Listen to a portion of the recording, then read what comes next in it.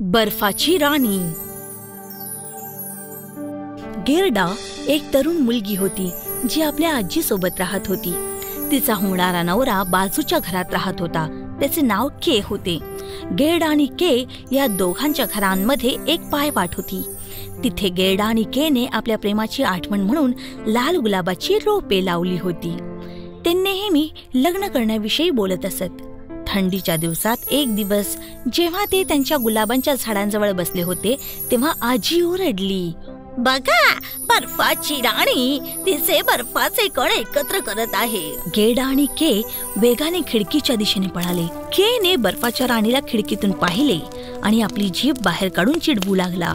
असे करू नकोस के. जर तिने तुला पाहिले तर काय होईल? ती तुझ्या मागे लागू शकते. मग तो गेडाच्या घराबाजूच्या आपल्या घरात खिडकीतून चढून परत गेला आणि आपल्या खोलीत गेला. त्या रात्री तो झोपायला जात होता तेव्हा त्याने आपल्या खिडकीतून बाहेर वाकून पाहिले. तेव्हा त्याने एक वेगळ्या प्रकारचा बर्फाचा कण पाहिला आणि तो कण बर्फाची राणी होईपर्यंत वेगाने वाढतच गेला. तिने हातात तुर्किश मिठाईचे ताट पकडलेले होते.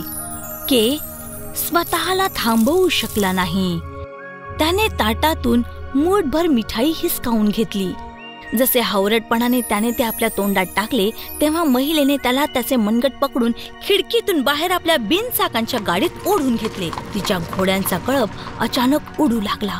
केक खूप घाबरला पाहिजे होता पण मिठाईने त्याच्या डोक्याची समजून घेण्याच्या शक्तीला मंद केलं होतं. दुसऱ्या दिवशी सकाळी जेव्हा गेडा केला भेटायला आली तेव्हा तो तिथे नव्हता. तिने त्याला प्रत्येक ठिकाणी शोधले. ती गावातल्या चौकात पळत गेली आणि रडत रडत विचारू लागली तुम्ही केलं पाहिलंय का? तुम्ही माझ्या केलं कुठं पाहिलंय का? पण त्याला कुणीही पाहिले नव्हते. कोणालाही माहीत नव्हतं की तो कुठे गेला आहे. "हं, माझा के जिवंत असावा.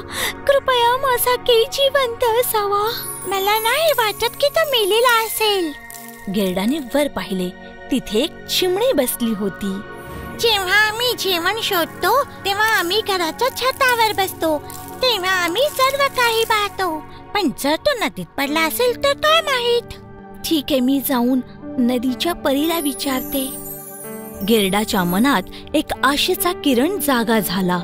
जर तो पाण्यात बुडाला असेल तर नदीतील परीला माहीत असेल. मग ती नदी जवळ गेली आणि जोरात ओरडली. नदी नदी माझा के इथे आला होता का? तो तुझ्या खोल पाण्यात पडून बुडाला आहे का?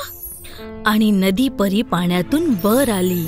तिच्या चेहऱ्यावर एक प्रेमळ हसू होते. आणि ती म्हणाली ओ माझ्या प्रिय मुली नाही तुझा के इथे खाली नाही आलाय. आता रडू नकोस. मग तो कुठे गेलो असेल? मला माहीत असतं तर सांगितलं असतं. पण एक म्हातारी चेटकीन आहे जी माझ्या किनारी राहते. ती तुझी मदत करू शकते. पण तुला तिच्यापासून सावध राहिलं पाहिजे. मी माझ्या प्रेमासाठी काहीही करू शकते. तुम्ही मला तिथे घेऊन जाऊ शकता का? का नाही? त्या छोट्या नावेत उडी मार. माझ्या लाटा तुला तिच्या झोपडीपर्यंत घेऊन जातील. नंतर नदीपरी गायब झाली आणि गेरडाने नावेत उडी मारली. जसा लाटांचा वेग वाढत होता तशीच छोटी नाव वेगाने तरंगत होती. त्यानंतर गेरडाने एक झोपडी पाहिली. एक म्हातारी बाई लटपटत बाहेर आली. ती वाकलेली होती आणि तिने हातात छडी पकडलेली होती. म्हातारी बाई नदीच्या किनाऱ्यावर आली आणि तिने नाव आपल्या छडीने पकडून जमिनीवर ओढत आणली. तिने बाहेर येण्यासाठी गिरडाची मदत केली. खर तर गिरडा या विचित्र म्हाताऱ्या चटकिनीला पाहून घाबरली होती पण तिने केला शोधण्याचं पक्क ठरवलं होतं.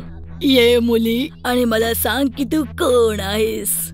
गिरडाने तिला सर्व काही सांगितले. तुम्ही माझ्या केला पाहिला आहे का? नाही पण तो कदाचित येथे येऊ शकतो. मग त्या झोपडीमध्ये गेल्या. तिथे टेबलवर सुंदर चेरीची वाटी ठेवली होती. गेडा आता दुखी होऊ नकोस. तुझं प्रेम तुझ्यासाठी मार्ग शोधून काढेल. आणि आता ती चेरी खा. जेव्हा गेरडा खात होती तेव्हा ती म्हातारी बाई तिच्या लांब केसांना सोन्याच्या कंगव्याने विंचते वेळी हळूहळू बोलू लागली. मी तुझ्यासारख्या नातीसाठी तळमळते आहे. गेरडा के बद्दल विसरून गेली कारण त्या म्हाताऱ्या बाईने जादूच्या कंगव्याने तिच्यावर जादू केली होती. म्हातारी चिटकीन गिरडाला आपल्या जवळ ठेवून घेणार होती. थोड्या वेळाने गिरडा बडबडली. मी इथे कायम राहण्यासाठी तयार आहे. पण एक दिवस बागेत गिरडाने लाल गुलाब पाहिले. त्याने तिला केची आठवण करून दिली. केच्या आठवणीने म्हाताऱ्या बाईच्या जादूला तोडले आणि गेडा बागेच्या गेटकडे पळत गेली. ती जास्त लांब पळू शकली नाही आणि दगडाच्या पुलावर थांबली. अचानक तिला ट्रोल्सनी घेरले. ट्रोल्स गिरडाला पकडण्यासाठी पुढे आले. ती जाड आणि सुंदर आहे. तिला बदाम आणि मध खाऊ घातले आहे. ती किती स्वादिष्ट असेल. ती माझ्या सोबत खेळेल. ती मला तिचा मफलर आणि तिचे सुंदर कपडे देईल. छोटी ट्रोल मुलगी जी गेडाच्या वयाची होती तिच्या चेहऱ्यावर उदासी होती. तिने गेडाला कमरेत पकडले आणि म्हणाली ते तुला नाही मारणार मी तुझं रक्षण करेन. सर्व ट्रोल्स हसले. त्यांनी छोट्या ट्रोल मुलीसाठी गेरडाला सोडून द्यायचं ठरवलं. गेरडाने तिला आपली व्यथा सांगितली की तिला केचा किती लळा होता आणि तिला त्याला शोधलंच पाहिजे. जेवणानंतर त्या दगडाच्या पुलाखालून जात होत्या. तेव्हा त्यांच्यावर शंभरपेक्षा जास्त कबूतर झोपण्याचे नाटक करून त्यांना पाहत होते आणि ऐकत होते. आम्ही केला पाहिला आहे. कुठे? बर्फाच्या राणीच्या गाडीत. ते कुठे चालले होते? लॅपलँड बर्फाच्या राणीचा तिथे राजवाडा आहे. छोटा ट्रोल मुलीने गंभीरपणे पाहिले डोके हलवले आणि म्हणाली मी तुला तुझं प्रेम मिळवण्यासाठी मदत करेन. छोटी ट्रोल मुलगी आपल्या पाळीव प्राण्याजवळ बारासिंगाकडे गेली डोळे बंद केले आणि म्हणाली मी तुझी दोरी सोडते. तू वेगाने पळत जाऊन या प्रेमळ मुलीला बर्फाच्या राणीच्या राजवाड्यामध्ये घेऊन जा. कळलं तुला? लवकर जा. मग छोट्या ट्रोल मुलीने बारसिंग्याची दोरी सोडली. गेरडा आणि बारसिंगा निघाले. तो बर्फाच्या राणीच्या राजवाड्यामध्ये पोहोचेपर्यंत पळतच राहिला. तिथे त्याने गेरडाला खाली उतरवलं. तू इथून एकटीच जा. तू परत येईपर्यंत मी इथेच थांबेन. मी वचन देतो की तुला आणि तुझ्या प्रेमाला सुरक्षित घरी पोहोचवेन. गेडा बर्फाच्या राणीच्या उंच राजवाड्याच्या बाहेर चालत होती. तिथे अचानक ती हजारो बर्फाच्या कण्यांनी वेढली गेली. ते बर्फाच्या राणीचे रक्षक होते. गेरडाने प्रार्थना केली. थंडी इतकी जबरदस्त होती की आपला श्वास बघू शकत होती. तो तिच्या तोंडातून वाफेच्या स्वरूपात निघत होता. वाफ मोठी होऊन छोटे स्वर्गदूत बनण्यासाठी ती वाफेला प्रार्थना करत होती. गेरडा आपली प्रार्थना संपवेपर्यंत पूर्ण तुकडी तिच्या चारी बाजूंनी उभी राहिली. त्यांनी बर्फाच्या कणांवर आक्रमण केले आणि लढाई सुरू झाली. गेरडा वेगाने बर्फाच्या राणीच्या राजवाड्यामध्ये गेली आणि तिला के दिसला. तो बर्फाच्या भिंतीच्या आत होता. के? माझं प्रेम के? शेवटी तुम्हाला भेटलासच थंडीने जवळजवळ गारटला होता आणि डोक्यापासून पायापर्यंत निळा झाला होता.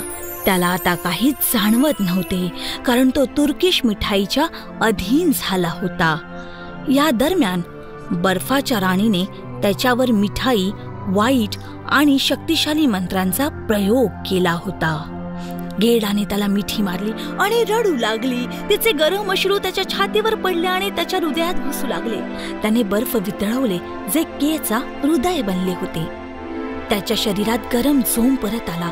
त्याने गेरडाला ओळखले आणि आनंदाने रडू लागला. गेरडा इतका वेळ तू कुठे होतीस? के माझ्या प्रेमा मी तुला शोधत होते आणि शेवटी तुम्हाला भेटलासच. त्या दोघांनी एकमेकांना मिठी मारली. हसले आणि आनंदाने रडू लागले. प्रामाणिक बारशिंगा त्यांची वाट पाहत होता. त्यांना येताना पाहून तो खाली वाकला आणि त्यांना आपल्या पाठीवर चढू दिले. ते घराकडे उडून गेले. त्यांच्या डोळ्यात आनंद आणि कृतज्ञता झळकत होती. यानंतर लगेच त्यांनी लग्न केले आणि आनंदाने जीवन जगू लागले. समाप्त.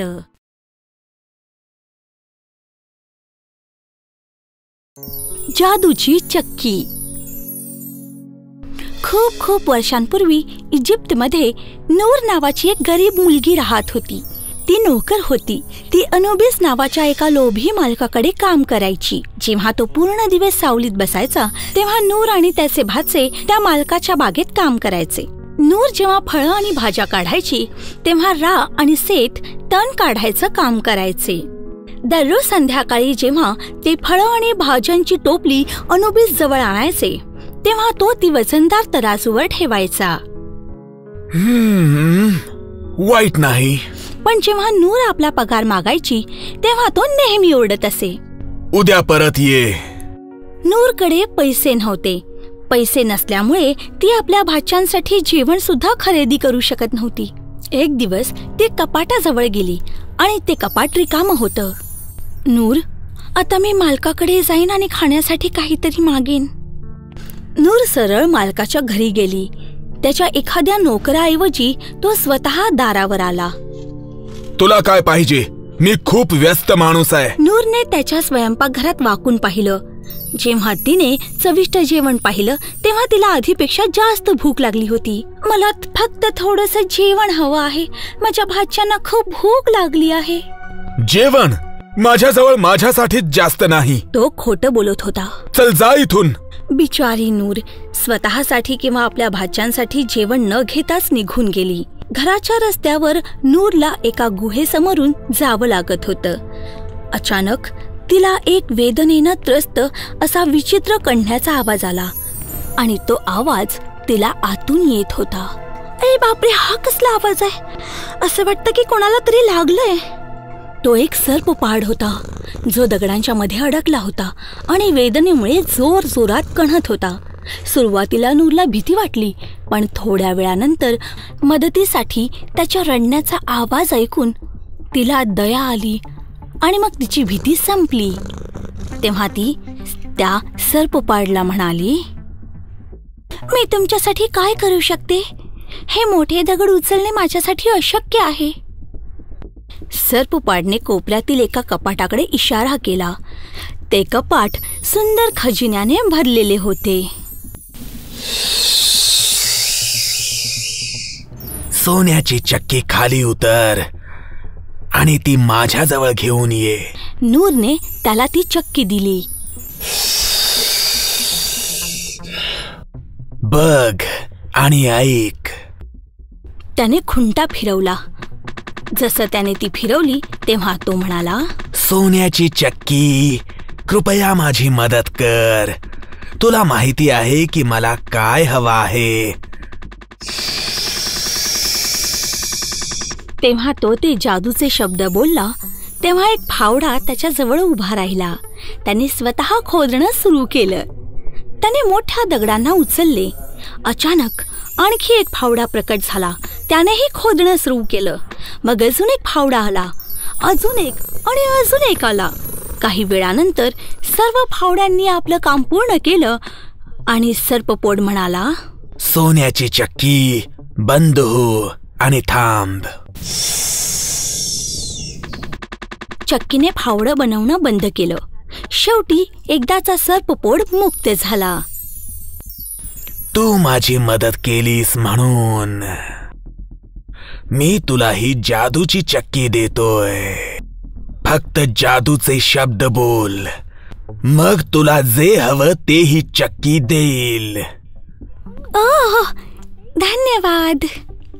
सर्पपोडने नूरला निरोप दिला. आता चक्की थांबवण्यासाठी जादूच्या शब्दांना विसरू नकोस. ती तोपर्यंत थांबणार नाही. जोपर्यंत तू ते जादूचे शब्द बोलणार नाहीस. मी ते कधीच नाही विसरणार. ती आपल्या भाच्यांना अद्भुत जादूची चक्की दाखवण्यासाठी धावली. तेव्हा तिच्या भाच्यांनी चक्की पाहिली तेव्हा ते खूप आनंदी नाही झाले. आमचं जेवण कुठे आहे नूर मावशी? आपल्याकडे जेवण आहे बाळांनो ऐका. मग नूरने खुंटी फिरवणं सुरू केले. सोन्याची चक्की कृपया माझी मदत कर. तुला माहीत आहे की मला काय पाहिजे आहे? अचानक ते टेबल जेवणाने भरून गेलं. तिथे टर्की आणि हॅम कुस्करलेले बटाटे मटर आणि गाजर आणि फळे आणि पनीर आणि दूध आणि ब्रेडही होतं. तेव्हा नूर म्हणाली सोन्याची चक्की बंद हो आणि थांब. मग चक्कीने जेवण बनवणं बंद केलं. तेव्हा रा ओरडला ओ मावशी नवीन कपडे मागूया ना. नूर जादूचे शब्द बोलली आणि काय आश्चर्य! त्यांनी सुंदर नवीन कपडे घातले होते. तेव्हा सेथ म्हणाली चला आपण नवीन फर्निचर मागूया. तेव्हा नूरने खुंटी फिरवली आणि जादूचे शब्द बोलली. तेव्हा चक्कीने त्यांना सुंदर नवीन फर्निचर दिले. तेव्हा रा आणि सेठ दोघे ओरडले.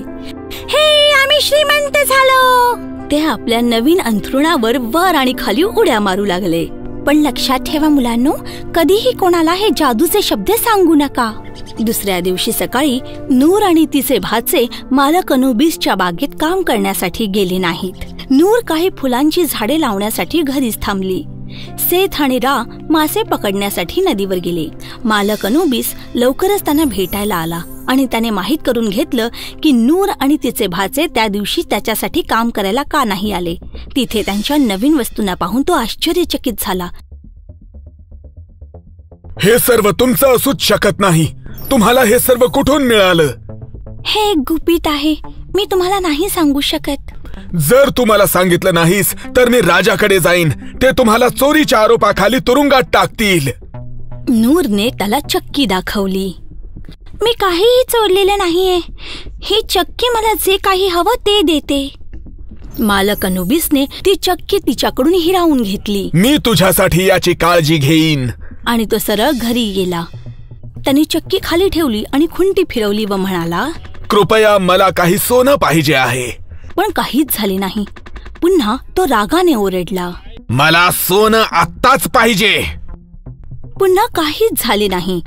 तेव्हा तो म्हणाला मला माहिती करून घ्यावं लागेल की ही माझी आज्ञा कशी मान्य तो करेल. नूरच्या भाच्याना शोधण्यासाठी बाहेर पडला. नूर आणि तिचे भाचे परत कधीच मालक अनुबिसकडे काम करण्यासाठी गेले नाहीत. नूर आपल्या छायादार बागेतच काम करू लागली. सेथ आणि रा आपला वेळ मासे पकडण्यात घालवू लागले आणि जादूच्या चक्कीने त्यांना ते सर्व काही दिले जे त्यांना आनंदाने जीवन जगण्यासाठी आवश्यक होते. तेव्हा मालक अनुबिसने नदीमध्ये सेथ आणि राला मासे पकडताना पाहिले. माझ्या प्रिय मित्रांनो मी ऐकलं आहे की तुमच्या जवळ एक चक्की आहे जी तुम्हाला हवं असलेलं काहीही देते. मला सांगा की ही जादूची चक्की कसं काम करते? हे सोपं आहे. तुम्ही फक्त फक्त म्हणा की सोन्याची चक्की. कृपया माझी मदत कर. तुला माहिती आहे की मला काय पाहिजे आहे. मग तुम्हाला हवं ते काहीही मिळेल. सेथने लगेच आपल्या भावाला कोपरखळी मारली आणि कुजबुजला. हे कुपित आहे. रा कुठला दुसराही शब्द बोलला नाही. खूपच रोमांचक. आता त्याला कळले की चक्की कसे काम करते. तो आपल्या जहाजाच्या दिशेने पळाला गावातून पळून जाण्यासाठी. जेणेकरून कोणीही त्याची जादूची चक्की घेऊन जाऊ नये. तो परत प्रयत्न करण्यासाठी आतुर झाला होता. म्हणून त्याने समुद्रातच खुंटी फिरवायला सुरुवात मला. आधी याची चाचणी घेतली पाहिजे. मी आता थोडं मीठ मागतो. आपल्या लोभी आवाजात तो म्हणाला सोन्याची चक्की? कृपया माझी मदत कर. तुला माहिती आहे की मला काय पाहिजे आहे. मग लगेचच चक्कीने मीठ बनवायला सुरुवात केली. चक्कीने भरपूर मीठ बनवलं आणि आता त्याचं जहाज मिठाने भरलं. ते खूप वजनदार झालं म्हणून म्हणून तो ओरडू आता. थांब! अरे थांब सोन्याची चक्की! अरे आता थांब! पण त्याला जादूचे शब्द माहीत नव्हते. म्हणून चक्की काही थांबली नाही. लवकरच त्याचं जहाज अतिवजनामुळे बुडू लागलं आणि शेवटी आणि मग शेवटी त्याचं जहाज आणि अणुबीस दोघेही पाण्यात बुडाले. पण मुलांना तुम्हाला माहीत आहे का? की ती जादूची चक्की अजूनही चालू आहे आणि मीठ तयार होतच आहे. म्हणूनच समुद्राचं पाणी इतकं खारट आहे. दी एंड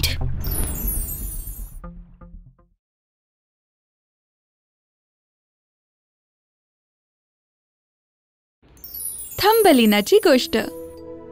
एकदा एक स्त्री होती. तिला खूप वाटायचं की तिला एक लहान बाळ असावं. परंतु अशा बाळाला कुठे शोधावं हे तिला समजतच नव्हतं. म्हणून ती एका वृद्ध मांत्रिकाकडे गेली आणि म्हणाली मला माझ्या लहान बाळाची खूप आतुरता लागली आहे कृपया मला सांगू शकाल का की मी त्याला कुठे शोधू? ते खूपच सोपं आहे. हा जवाचा दाणा तुझ्यासाठीच आहे. हे एका फुलदाणीत ठेव आणि तुला जे पाहिजे ते मिळेल. मी मी आभारी आहे. तिने ते बी घेतलं आणि जसं ती घरी गेली तसं तिने जव पेरलं. त्याचे लगेच मोठ्या फुलात रूपांतर झालं. ते एका घंटेप्रमाणे दिसू लागलं. परंतु त्याच्या पाकळ्या घट्ट होत्या. त्यात अजून एक कळी होती. हे खूपच सुंदर फूल आहे. त्याच्या लाल आणि पिवळ्या पाकळ्यांचे त्या स्त्रीनं चुंबन घेतलं आणि तिने जसं चुंबन घेतलं तसं त्या फुलाने मोठा आवाज केला आणि ते फुललं. त्याच्यामध्ये एक लहान मुलगी होती. ती खूप छान आणि सुंदर होती. परंतु मानवी बोटापेक्षा ती उंच नव्हती. किती छान बाळ आहे. आतापासून मी तुला थंबलीना म्हणेन. एका छानशा अक्रोडाच्या कवचाचा तिच्यासाठी पाळणा केला. त्यामध्ये ती रात्री झोपत असे. दिवसाच्या वेळी त्या स्त्रीनं टेबलावर ठेवलेल्या फुलांच्या गुच्छांनी वेढलेल्या प्लेटमध्ये ती खेळायची. त्यावर एका मोठ्या फुलाची पाकळी तरंगत असायची. थंबलीना त्या पाकळीचा उपयोग नाव म्हणून करायची आणि वल्हे म्हणून पांढऱ्या घोड्याच्या केसांची जोड घ्यायची. ती त्या प्लेटमध्ये सरळ घसरू शकायची. ती गाणं गायची. तिचा आवाज कोणी कधी ऐकला तरी मृदू आणि गोड लागायचा. एका रात्री ती तिच्या पाळण्यात झोपलेली असताना एक भयानक बेडकानं खिडकीतून उडी घेतली. टेबलवर ज्या ठिकाणी थंबलीना झोपली होती त्या ठिकाणी तो आला. माझ्या मुलासाठी ही उत्कृष्ट पत्नी आहे ड्राव. त्याने ते अक्रोडाचं कवच ताब्यात घेतलं ज्यामध्ये थंबलीना झोपली होती आणि त्यासह त्याने खिडकीच्या बाहेर उडी घेतली आणि बागेमध्ये गेला. बेडूक त्याच्या मुलाबरोबर राहत होता. तो त्याच्या आईसारखाच होता परंतु सडपातळ आणि भयानक. मोठ्याने बोलू नको कारण तू तिला उठवशील. ती आताही आपल्यापासून दूर जाऊ शकते. आपण तिला पाण्याच्या प्रवाहामधील कोणत्याही एका मोठ्या कमळाच्या पानावरच ठेवूया. ती लहान असल्यामुळे तिला एका बेटाप्रमाणेच वाटेल. त्या प्रवाहामध्ये मोठी हिरवी पानं असलेली खूप कमळं होती. एक पान काठापासून लांब होतं. ते सगळ्या पानांपेक्षा मोठं होतं. आणि अक्रोडाच्या कवचामध्ये थंबलीना होती त्या कवचासह तो वृद्ध बेडूक त्या पानाजवळ आला. दुसऱ्या दिवशी निरागस लहान थंबलीना लवकर उठली आणि ज्यावेळी तिने पाहिलं की ती कुठे आहे ती मोठ्याने रडूच लागली. त्या मोठ्या हिरव्या पानांच्या सभोवती पाणीच पाणी होतं आणि त्या ठिकाणी तिला कडेला जाण्यासाठी कोणताही मार्ग नव्हता. थंबलीना खाली बसली आणि रडू लागली. तिच्या जवळच खाली पाण्यात पोहणाऱ्या लहान माशांनी त्या लहान मुलीला पाहण्यासाठी त्यांची डोकी वर काढली. त्यांनी तिला पाहिलं आणि त्यांना खूपच वाईट वाटलं. थंबलीना ज्या पानावर होती त्या पानाच्या देठाभोवती ते सगळे जमले आणि त्यांनी दातांनी ते देठ कुरतडून वेगळे केले. ते पान देठापासून वेगळं होऊन प्रवाहात वाहू लागलं आणि थंबलीना सुद्धा त्या बेडकापासून इतक्या दूर गेली जिथे तो तिला कधीच पकडू शकणार नव्हता. आता ती ज्या ठिकाणी होती ती जंगलाची सीमाच होती. तिथे मोठे धान्याचे शेत होते परंतु धान्याची काढणी खूप पूर्वी झाली होती. गोठलेल्या जमिनीच्या बाहेर फक्त वाळलेले अविभाज्य कान शिल्लक होते. जरी ती विशाल जंगलात हरवली असली तरी तिथे फक्त तेवढंच होतं. त्यानंतर ती एका रानुंदराच्या दाराजवळ आली ज्याच्याकडे लहान खुंट होतं. त्या ठिकाणी भरपूर अशा धान्याने भरलेल्या खोलीत एक उंदीर राहायचा. थंबलीना त्याच्या दारासमोर उभी राहिली. अगदी भिकाऱ्यासारखी आणि थोड्या जवासाठी प्रार्थना करू लागली. कारण बिचाऱ्या थंबलीनाला खूप भूक लागली होती. अरे उदास लहान बाळा तुला माझ्या उबदार खोलीमध्ये आलं पाहिजे आणि जेवण केलं पाहिजे. परंतु तू माझी खोली स्वच्छ ठेवली पाहिजेस आणि मला गोष्टी सांगितल्या पाहिजेस. माझ्यासाठी त्या खूपच आवडीच्या आहेत. थंबलीनाने त्या वृद्ध दयाळू रानुंदराच्या सांगण्याप्रमाणे केलं आणि तिला खूपच मजा आली. असेच काही दिवस गेले आणि एके दिवशी रानुंदीर थंबलीना जवळ आला. आपल्याकडे आता एक पाहुणा येणार आहे. आठवड्यातून एकदा मला बघण्यासाठी माझे शेजारी येतात आणि ते माझ्यापेक्षाही चांगले आहेत. जर तू त्याला पती म्हणून मिळवशील तर तो तुझी खूप चांगली काळजी घेईल परंतु तो काहीच पाहू शकत नाही. तुला माहीत असलेल्या चांगल्या गोष्टी तू त्याला सांग. थंबलीनाला हा प्रस्ताव आवडला नाही. तिला त्याचा विचारही करायचा नव्हता कारण तो एक चिचुंद्रा होता. तो त्यांच्या घरी आला. रानुंदीर त्याच्याबद्दल सांगायचा की तो किती श्रीमंत आणि ज्ञानी आहे आणि सांगायचा की त्याचे घर त्यांच्यापेक्षा कसे बीस पटीनं मोठं आहे. थंबलिनाचा गोड आवाज ऐकून चिचुंद्रा तिच्या प्रेमात पडू लागला मात्र त्याने त्याची कबुली दिली नव्हती. त्याने तिला अद्याप काहीही सांगितलं नव्हतं. त्याने लगेचच त्याच्या घरापासून तिच्या घरापर्यंत एक लांब बिळ खोदलं आणि रानुंदीर आणि थंबलीना ज्यावेळी खुश असायचे त्यावेळी ते त्याला बोलवायचे.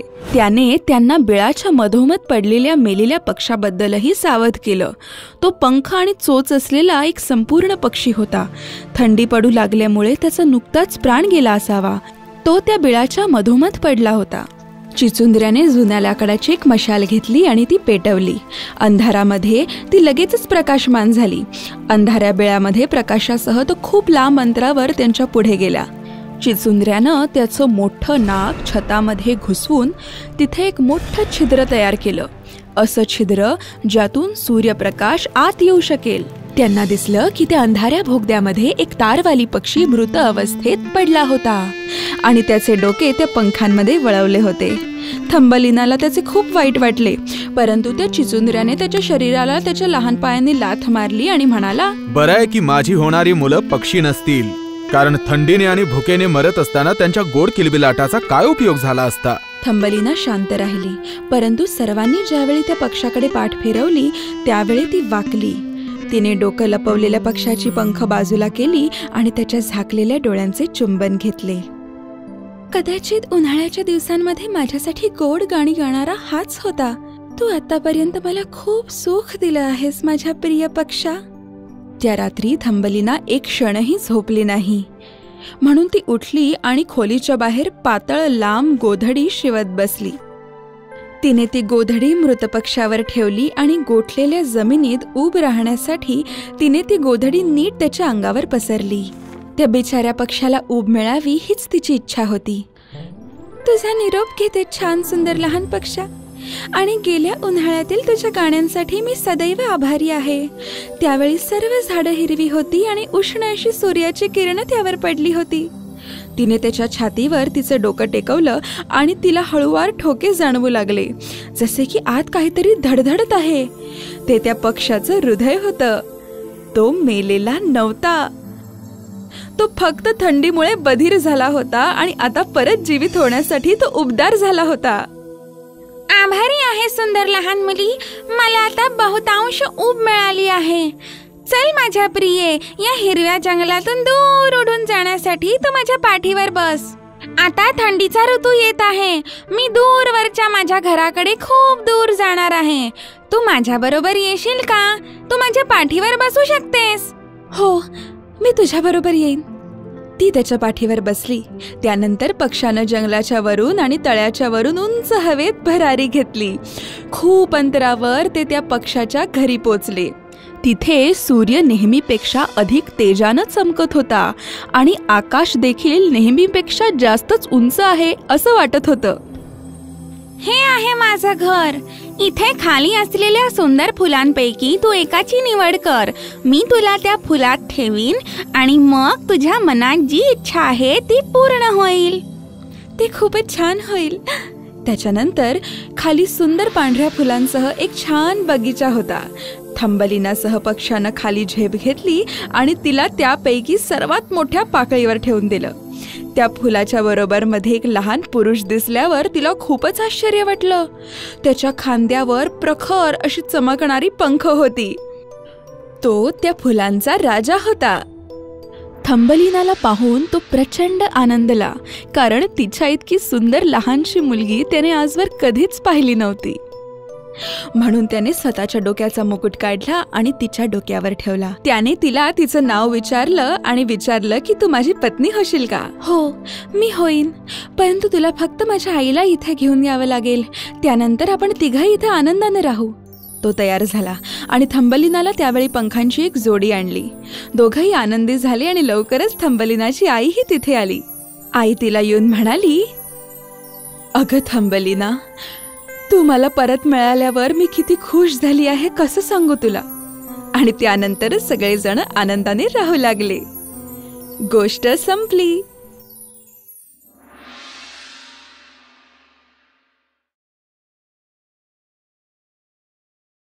छोटी जादूची पेन्सिल. नोवा आपल्या शाळेच्या बसमधून उतरून रस्त्यावर चालत होता. हे तेच छोटे गाव आहे जिथे तो राहत होता. त्याने कधी विचार केला नव्हता की हा त्याच्या आयुष्यातला सगळ्यात विचित्र दिवस असेल. तो एका पायवाटेवर चालत होता. त्याने एका वृद्ध माणसाला पाहिले जो थंडीने थरथरत होता आणि खूप भुकेला वाटत होता आणि जेवणासाठी भीक मागत होता. कृपया माझी मदत करा. मी दोन दिवस झाले काहीच खाल्लं नाही. तुम्ही कृपया मला खायला काही देऊ शकता का? नोवाला वृद्ध माणसाची दया आली. त्यामुळे तो जवळच्या दुकानात गेला आणि जेवण विकत घेतले. सोबत त्याच्यासाठी पाण्याची बाटली सुद्धा घेतली. त्याने दुकानदाराला ते पैसे दिले जे तो स्वतःसाठी एक नवीन पेन्सिल बॉक्स विकत घेण्यासाठी वाचवत होता. तो वृद्ध माणूस त्याच्यापासून जास्त लांब नव्हता. हे घ्या हे तुमच्यासाठी आहे. ओ धन्यवाद बाळा. मला वाटलं की मी उपाशीच मरून जाईन. तू खूप दयाळू आहेस. जेवण झाल्यानंतर आणि थोडे पाणी प्यायल्यानंतर म्हणजेच नोवाने त्याची प्रेमाने काळजी घेतल्यानंतर त्याला चांगले वाटू लागले आणि त्याला नोवाबद्दल गर्व वाटू लागला. मी खूप वेळापासून एका दयाळू व्यक्तीचा शोध करत होतो. मला विश्वास आहे की आज माझा शोध संपला. नोवा गोंधळला. जेव्हा त्याने हे ऐकले तेव्हा त्याने वृद्ध माणसाला नम्रपणे विचारले तुम्हाला काय म्हणायचंय? वृद्ध माणसाने आपल्या झोळीत हात घातला आणि एक जुना डबा काढला. त्याच्या आतील वस्तू दाखवण्यासाठी तो ज्या प्रकारे त्याला हळूहळू उघडत होता तो गंभीर आणि शांत दिसत होता. आणि आता आत एक खूप जुनी पेन्सिल ठेवली होती जी एक उज्ज्वल छोट्या ताऱ्याप्रमाणे चमकत होती. हे दृश्य पाहून नोहा चकित झाला. अचानक वृद्ध माणसाने डब्याचे गंजलेले झाकण बंद केले आणि ते पेन्सिल नोवाला देऊन म्हणाला नोवा हो मला तुझं नाव माहीत आहे कारण मी एक जादूगार आहे. मी खूप वेळापासून शोधावर होतो तुझ्यासारख्या मुलाचा शोध करत होतो जो दुसऱ्यांना मदत करण्यासाठी आपल्या इच्छांना सोडण्यासाठी तयार असेल. आता तू दुसऱ्यांची मदत करू शकतोस. या जादूच्या पेन्सिलने. फक्त तुला जे काही हवं असेल त्याचं चित्र बनव आणि ते लगेचच तुझ्या समोर प्रकट होईल. अरे वा! धन्यवाद दयाळू जादूगार. आता मी गरजवंत लोकांची मदत करू शकतो. जेव्हा हवं तेव्हा. हे फारच छान झालं. खूप खूप धन्यवाद. फक्त या दोन गोष्टी लक्षात ठेव. हे रहस्य कोणालाही सांगू नकोस.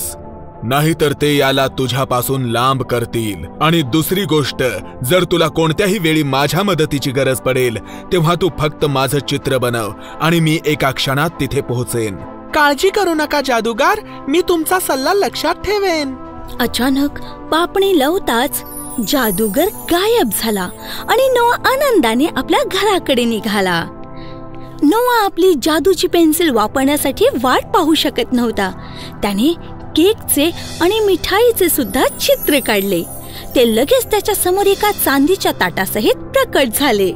दुसऱ्या दिवशी त्याने त्याला भेटणाऱ्या प्रत्येक व्यक्तीला त्यांच्या गरजेच्या वस्तू देऊन त्यांची मदत करायला सुरू केली. जेव्हा तो रस्त्यावरून जात होता त्याने पाहिले की एक माणूस तिथल्या हॉटेलमधून एक जाडजूड आणि विचित्र आकाराचे सामान उचलून नेण्याचा अपयशस्वी प्रयत्न करत होता. त्या माणसाची मदत करण्यासाठी नोवाने एक सामान नेणारी गाडी बनवली जी त्याचे जाडजूड सामान घेऊन जाऊ शकेल. पुन्हा त्याने एका छोट्या मुलीला पाहिले जी अनवाणी होती आणि काडीपेट्या विकण्यासाठी धडपडत होती. आणि कोणालाच तिची काळजी वाटली नाही पण नोवाला मात्र वाटली. आणि तो तिच्यासाठी काही आरामदायक चपलांसोबतच जेवणाची एक थैली बनवण्यासाठी पुढे झाला. थोड्या वेळाने त्याने पाहिले की काही बेघर लोक कडाक्याच्या थंडीत रस्त्यावर थरथरत होते. म्हणून त्याने ते लोक ज्याला आपलं घर स्वतःच म्हणू शकतील अशी काही छोटी पण सुंदर घरे बनवली. अशा प्रकारे नोआने आपल्या आसपासच्या लोकांची मदत केली. एक दिवस जेव्हा तो एका गरीब माणसाची मदत करत होता तेव्हा लोभी आणि स्वार्थी मेयरने त्या दयाळू आणि मदत करणाऱ्या मुलाला पाहिले. मेयरने हे देखील पाहिले की छोटा मुलगा नोआ कशा तरी प्रकारे एका सामान्यपणे जादूच्या पेन्सिलने या सर्व वस्तूंना हवेतून बाहेर काढत होता. दुसऱ्या दिवशी मेयरने पोलिसांना त्या मुलाला अटक करण्यास सांगितले आणि जादूचा चुकीचा वापर करण्यासाठी अटक करण्यात आली. कारण मेयरने बनवलेल्या नियमानुसार जादूचा उपयोग करण्याची परवानगी फक्त तिथल्या श्रीमंत लोकांनाच होती. पोलिसांनी नोवाला त्याच्या जादूच्या पेन्सिलचा उपयोग करून गरीब आणि कमनशिबी लोकांना मदत करतेवेळी पाहिले आणि त्याचवेळी त्याला अटक केली आणि त्याला ओढत मेयर समोर सादर केले. तेव्हा मेयर म्हणाला नोआ मी पाहिलं की कसं तू त्या आजारी उपाशी बेघर आणि गरीब लोकांची मदत केलीस. आता तू माझी मदत नक्कीच कर. माझ्यासाठी चित्रकार जे मला पाहिजे. एक झाड जे सोन्याचं भरीव फळ देईल. महोदय मी पूर्ण आदराने सांगतो मी फक्त गरीब आणि गरजू लोकांची मदत करतो. आणि ना तुम्ही गरीब आहात ना गरजू. ही विनंती नाही नोआ मी तुला असं करण्याची आज्ञा देत आहे. मला दुःख आहे मेयर पण मी असं करणार नाही. मूर्ख मुला तर मग एका मोठ्या शिक्षेसाठी तयार राहा. मेयरने तेव्हा आपल्या नोकरांना नोवाकडून जादूची पेन्सिल हिसकावून घेण्यास सांगितले. एका पोलीस कर्मचाऱ्याने यशस्वीपणे ते केले आणि ती पेन्सिल मेयरकडे देऊन टाकली. आता मेयर ते सोन्याचे फळ देणाऱ्या झाडांचे चित्र काढायला सुरुवात केली. ते एक चांगले चित्र होते जे रंगीत बारकाईने भरले होते पण पेन्सिलच्या आतील जादू त्याचे उत्तर देत नव्हती. यानंतर त्याने पोलीस कर्मचाऱ्याकडे चित्र बनवण्याचे साहित्य दिले ज्याने खूप वेळा नव्या कागदावर चित्र बनवण्याचा प्रयत्नही केला. पण तो अपयशी ठरला. शेवटी तो हरला आणि त्या पोलिसाने मेयरला सांगितले मला वाटतंय की पेन्सिल आपल्याकडून कोणताही आदेश घेणार नाही सर. ही फक्त नोआच्या हातांनाच ओळखते. तर फक्त हा मुलगाच तुमची इच्छा पूर्ण करू शकतो. लोभी मेयर खूपच क्रूर होता. नोआ मी तुला शेवटचं विचारत आहे. तू माझ्यासाठी झाड बनवणार की नाही? जे सोन्याचं फळ देणार असेल. तू जे बोलशील ते विचार करून बोल कारण ते तुझे शेवटचे शब्द असू शकतात. नोवा एक धाडसी मुलगा होता पण यावेळी तो फक्त हा सगळा घोळ संपवू इच्छित होता. तर त्याने सांगितले की तो काही चित्र काढेल आणि मेयरने मुलाला जादूची पेन्सिल दिली. पुढचे चित्र जे नोवाने बनवले ते म्हणजे कागदाच्या तुकड्यावर एका वृद्ध माणसाचे चित्र होते. आणि त्या जादूगराने हुशार आणि दयाळू मुलाला जादूची पेन्सिल दिली होती. तो नोवाला वाचवण्यासाठी आला होता. वृद्ध जादूगाराने येताच त्या पोलिसाने मांजरामध्ये रूपांतरित केले आणि तो म्हणाला मेयर साहेब तुम्ही तुमच्या स्वतःच्या हव्यासासाठी या पेन्सिलच्या जादूचा दुरुपयोग करण्याची हिंमत नाही करायची. नाहीतर तुम्ही पुढची व्यक्ती असाल जो आपली स्वतःची शेपूट चाटेल. मेयर खूप घाबरला होता आणि घाबरून थरथरू लागला. नंतर वृद्ध व्यक्तीने मेयरला इतका लोभी आणि स्वार्थी न होण्यासाठी सांगितले. मेयरने आपली चूक स्वीकारली आणि नोआ व जादूगार यांची माफी मागितली. दुसऱ्या दिवशी मेयरने नोवाला त्याच्या दयाळू कामांसाठी सन्मानित केले आणि मदतीसाठी शहरातील साऱ्या लोकांचा विचार केला. आणि नोवाने त्या गरीब आणि कमनशिबी लोकांची मदत करणे चालूच ठेवले आणि आनंदाने जीवन जगू लागला. समाप्त.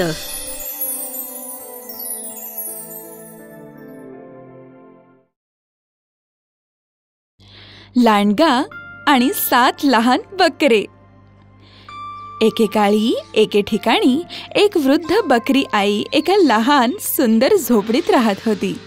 तिला सात लहान सुंदर मुलं होती. त्यांच्या झोपडीच्या समोरच एक मोठा वाईट लोभी लांडगा राहत होता. त्याला नेहमी त्या सर्वांना खाण्याची एक लालसा होती.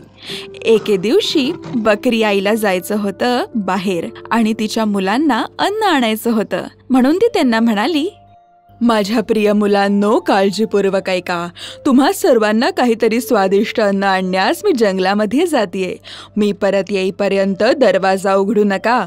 जर मोठा दुष्ट लांडगा आपल्या झोपडीमध्ये आला तर तो तुम्हा सर्वांना खाऊन टाकेल. तो बदमाश नेहमीच वेषांतर करून येतो. मात्र तुम्ही त्याला अगदी आरामात ओळखू शकाल. कारण त्याचा आवाज उग्र आहे पाय काळे आहेत आणि नख टोकदार आहेत. अगं आई आम्ही खूप काळजीपूर्वक राहू. त्या मोठ्या दुष्ट लांडग्याला आत येऊ देणार नाही. आमची काळजी करू नको. आम्ही सर्वजण सुरक्षित राहू. म्हणून बकरी आई तिच्या मार्गानं निघून गेली. त्यानंतर थोड्याच वेळानं त्यांच्या दरवाज्यावर टकटक झाली.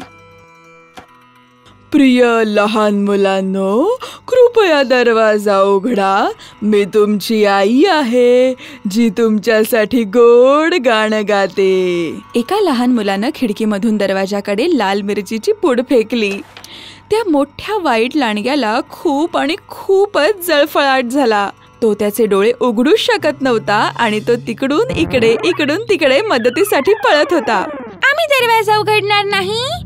आमच्या आईचा आवाज मऊ आणि मधासारखा गोड आहे. तुझा आवाज वृक्ष आणि उग्र आहे. तू नक्कीच मोठा दुष्ट लांडगा असणार. त्या मोठ्या दुष्ट लांडग्याला ते उत्तर ऐकून खूपच निराशा झाली आणि तो मधाचं पोळं शोधण्यासाठी पळाला.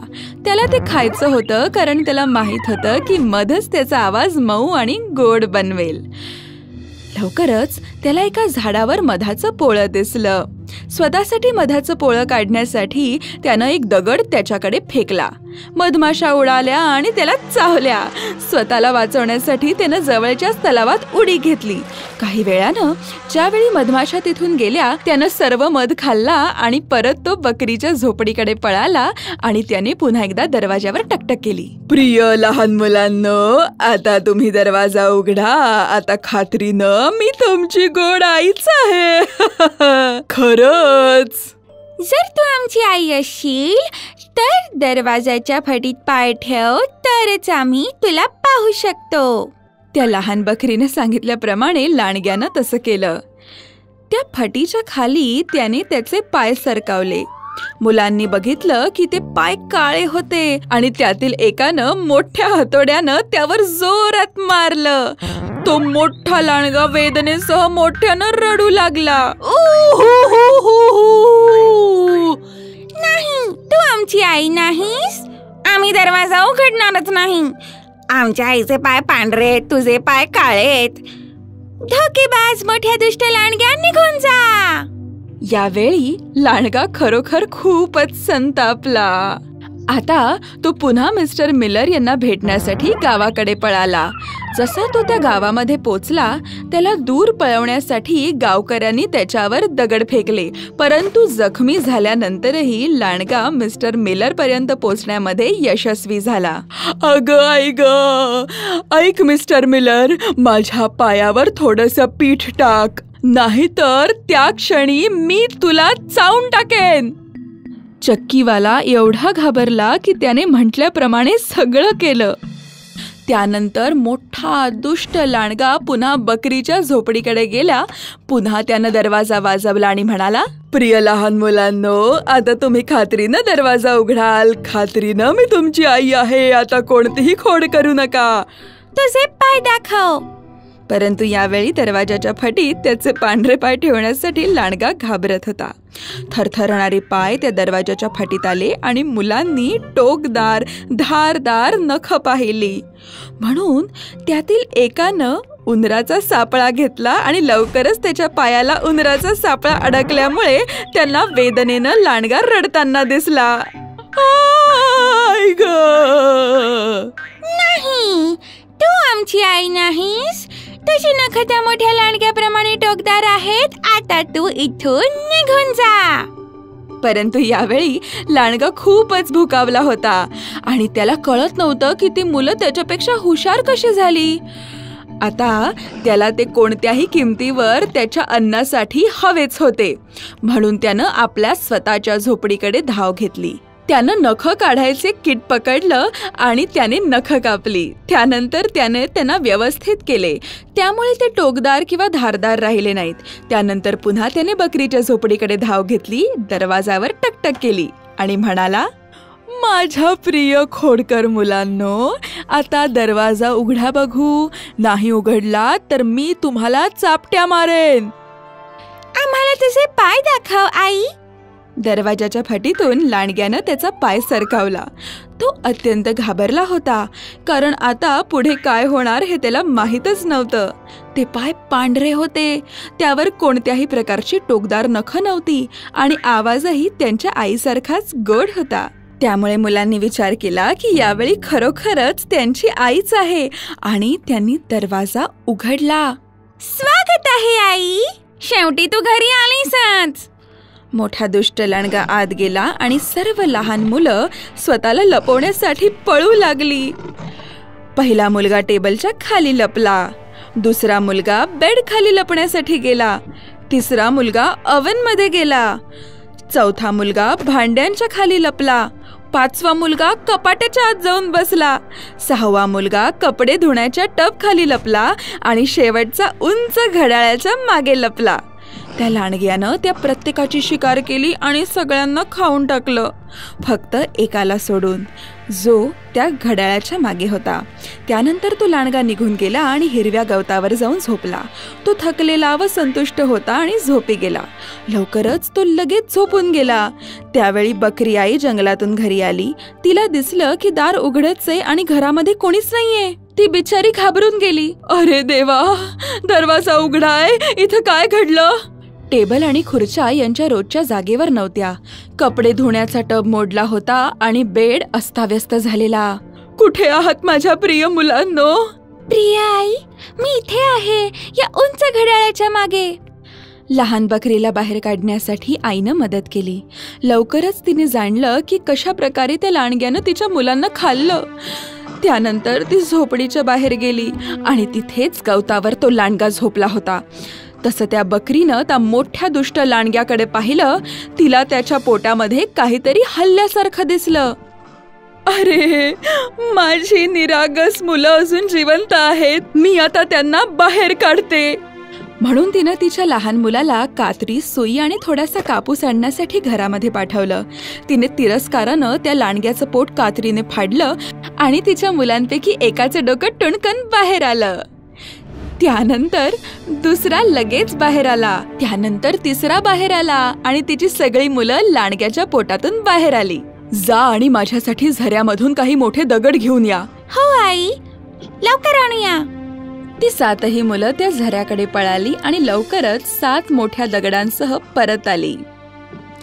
त्यांनी ते दगड त्या दुष्ट वृद्ध लांडग्याच्या पोटात ठेवले. मी आता हळुवार लांडग्याला शिवणार आहे त्यामुळे शांत राहा नाहीतर तो उठेल. लवकरच तिनं लांडग्याचं पोट शिवलं. थोड्याच वेळात शेवटी ज्यावेळी मोठा दुष्ट लांडगा जागा झाला तेव्हा त्याला आतील मोठ्या दगडांचं खूपच ओझ वाटू लागलं.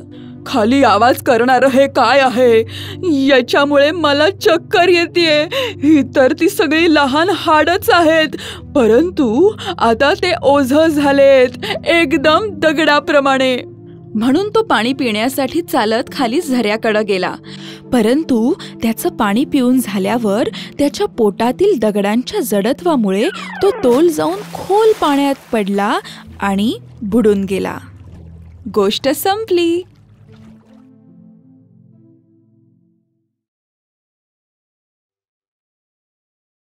जादूची अंगठी. एका श्रीमंत वडिलाने आपल्या मुलाला तीनशे सोन्याची नाणी देऊन आपल्या नव्या कौशल्यासाठी व्यापाराच्या शोधात जगाचा प्रवास करण्यासाठी पाठवले. रॉबिन हे त्या मुलाचे नाव होते. त्याने पैसे घेतले आणि आपल्या वडिलांना निरोप दिला. तो जास्त लांब गेला नव्हता. इतक्यात त्याने एका कुत्र्यासाठी भांडणाऱ्या काही गुराख्यांना पाहिले. त्यातील काही लोक त्या कुत्र्याला मारू इच्छित होते. कृपया कुत्र्याला मारू नका. मी तुम्हाला यासाठी शंभर सोन्याची नाणी देईन. त्याने त्या लोकांना विनंती केली आणि व्यवहार झाला. आणि मूर्ख तरुणाने कुत्र्याला घेतले आणि आपल्या मार्गाने चालू लागला. याला जास्त वेळ झाला नव्हता की तो काही लोकांना भेटला जे एका मांजरासाठी भांडत होते.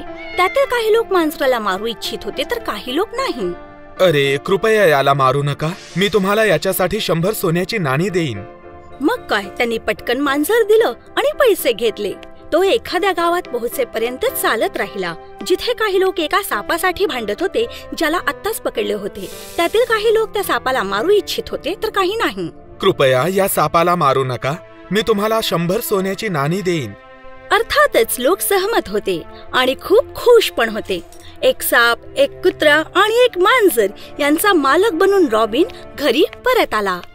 तू मूर्ख आहेस बदमाश आहेस. जेव्हा त्यांनी ऐकले की कसे त्यांच्या मुलाने त्याला दिलेले सगळे पैसे बर्बाद केले तेव्हा त्याच्या वडिलांनी म्हटले जा आणि आपल्या तबेल्यात जाऊन राहा आणि पश्चाताप कर. तू पुन्हा कधी माझ्या घरात प्रवेश करायचा नाही. यामुळे तो तरुण तबेल्यात राहू लागला. त्याचे सोबती कुत्रा मांजर आणि साप हे होते. या प्राण्यांनी त्याला लळा लावला. आणि मग एक दिवस बोलताना सापाने आपल्या मालकाला सांगितले मी राजा बेसिलिस्कचा मुलगा आहे. एक दिवस जेव्हा मी हवा घ्यायला मैदानामध्ये बाहेर आलो होतो तेव्हा काही लोकांनी मला पकडलं. ते मला मारू इच्छित होते आणि तेवढ्यात तुम्ही मला वाचवण्यासाठी योग्य वेळेवर आलात. आपल्या मुलाला जिवंत पाहून माझ्या वडिलांना आनंद होईल. ते कुठे राहतात?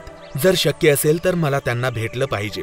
चांगली गोष्ट बोललात. काय तुम्ही माउंट ओलिम्पिस पाहिला आहे? त्या डोंगराच्या पायथ्याशी एक पवित्र झरा आहे. जर तुम्ही माझ्या सोबत त्या झऱ्यामध्ये डुबकी घ्याल तर आपण दोघे माझ्या वडिलांच्या देशात पोहोचू आणि ते तुम्हाला पुरस्कारही देतील. आणि हो जर त्यांनी तुम्हाला विचारले की तुम्हाला काय हवं आहे तर तुम्ही उत्तर द्या की तुमच्या उजव्या हातातील अंगठी आणि जादूचं भांडा आणि चमचा जे तुमच्याकडे आहे. तुमच्याजवळ हे असल्यास तुम्हाला कधीही कोणत्याही गोष्टीची आवश्यकता भासणार नाही. ती जादूची अंगठी आहे. तुम्ही तिच्याशी बोलूही शकता आणि तुम्हाला लगेच एक सुंदर राजवाडा मिळेल. आणि भांड व चमचा हे तुम्हाला प्रत्येक प्रकारचे चविष्ट जेवण देईल. जे तुम्हाला खूपच आवडेल. सापाच्या सल्ल्यानुसार आपल्या तीन संकटग्रस्त मित्रांबरोबर आलेल्या युवकाने झऱ्यात उडी मारण्याची तयारी केली. त्याने आपल्या कुत्रा आणि मांजर यांना मागे राहून प्रवेशद्वारावर राखण करण्याचा आदेश दिला. युवक आणि साप सुरक्षित आपल्या नियोजित जागेवर पोहोचले आणि त्यांच्या आगमनाची सूचना राजा बेसिलिस्कला देण्यात आली. तेव्हा राजाने जाऊन आपल्या मुलाला आलिंगन दिले आणि त्या अनोळखी युवकाला नमस्कार करत त्याचे आपल्या राज्यात स्वागत केले. नागांच्या दुनियेमध्ये तुमचं स्वागत आहे युवक. तुम्ही माझ्या मुलाचा जीव वाचवलात आणि यासाठी मी तुमचा खूप आभारी आहे. आता माझी विनंती आहे कृपया तुमची कोणतीही इच्छा मागा आणि मी ते तुम्हाला एका क्षणात देईन. धन्यवाद राजा बेसिलिस्क. पण मला या बदल्यात काहीही नकोय. तसं तर बुद्धिमान व्यक्तीचं कर्तव्य आहे की जर त्याने कोणाला संकटात पाहिले तर त्याची मदत करणे. तुम्ही फक्त दयाळूच नाही तर सज्जनही आहात. माझी ही इच्छा आहे की तुम्ही काही दिवस इथे राहावं. तो युवक काही दिवस तेथे राहिला. त्या दरम्यान त्याने राजाच्या मुलाला वाचवल्याबद्दल आपल्या महानतेचे परतफेड म्हणून राजाच्या उजव्या हातातील अंगठी जादूचे भांडे आणि चमचा मिळवले. तो झऱ्याच्या पाण्यातून बाहेर आला. तेव्हा त्याने पाहिले की त्याचे मित्र कुत्रा व मांजर त्याची वाट पाहत होते. नंतर ते एकत्र नदीच्या किनाऱ्यावर गेले जिथे मंत्रित अंगठी भांडे व चमचा यांच्या शक्तीचा वापर करण्याचा निर्णय घेण्यात आला. व्यापाराचा मुलगा अंगठीशी काही बोलला आणि लगेच एक सुंदर राजवाडा आणि सोनेरी केसांची एक राजकुमारी प्रकट झाली. त्याने लवकरच त्या राजकुमारीशी लग्न केले. त्या सर्वांनी एकत्र आपले नवे राज्य स्थापन केले जिथे लोक जादूचे भांडे आणि चमचा यांच्यामुळे कधीच उपाशी राहत नव्हते. पुन्हा काही वेळाने त्याने आपल्या जादूच्या अंगठीचा वापर केला आणि राज्यातील इतर गरीब लोकांची मदत केली आणि ते खूप आनंदाने राहू लागले. फक्त तीनशे सोन्याच्या नाण्यांनी त्याने जे आपल्या मित्रांचे जीवन वाचवण्यासाठी खर्च केले होते त्याच्या मोबदल्यात त्याला सुख आणि धन मिळाले. तर मुलांना गोष्टीचे तात्पर्य हे आहे की चांगले काम नेहमी चांगलेच फळ देते. समाप्त.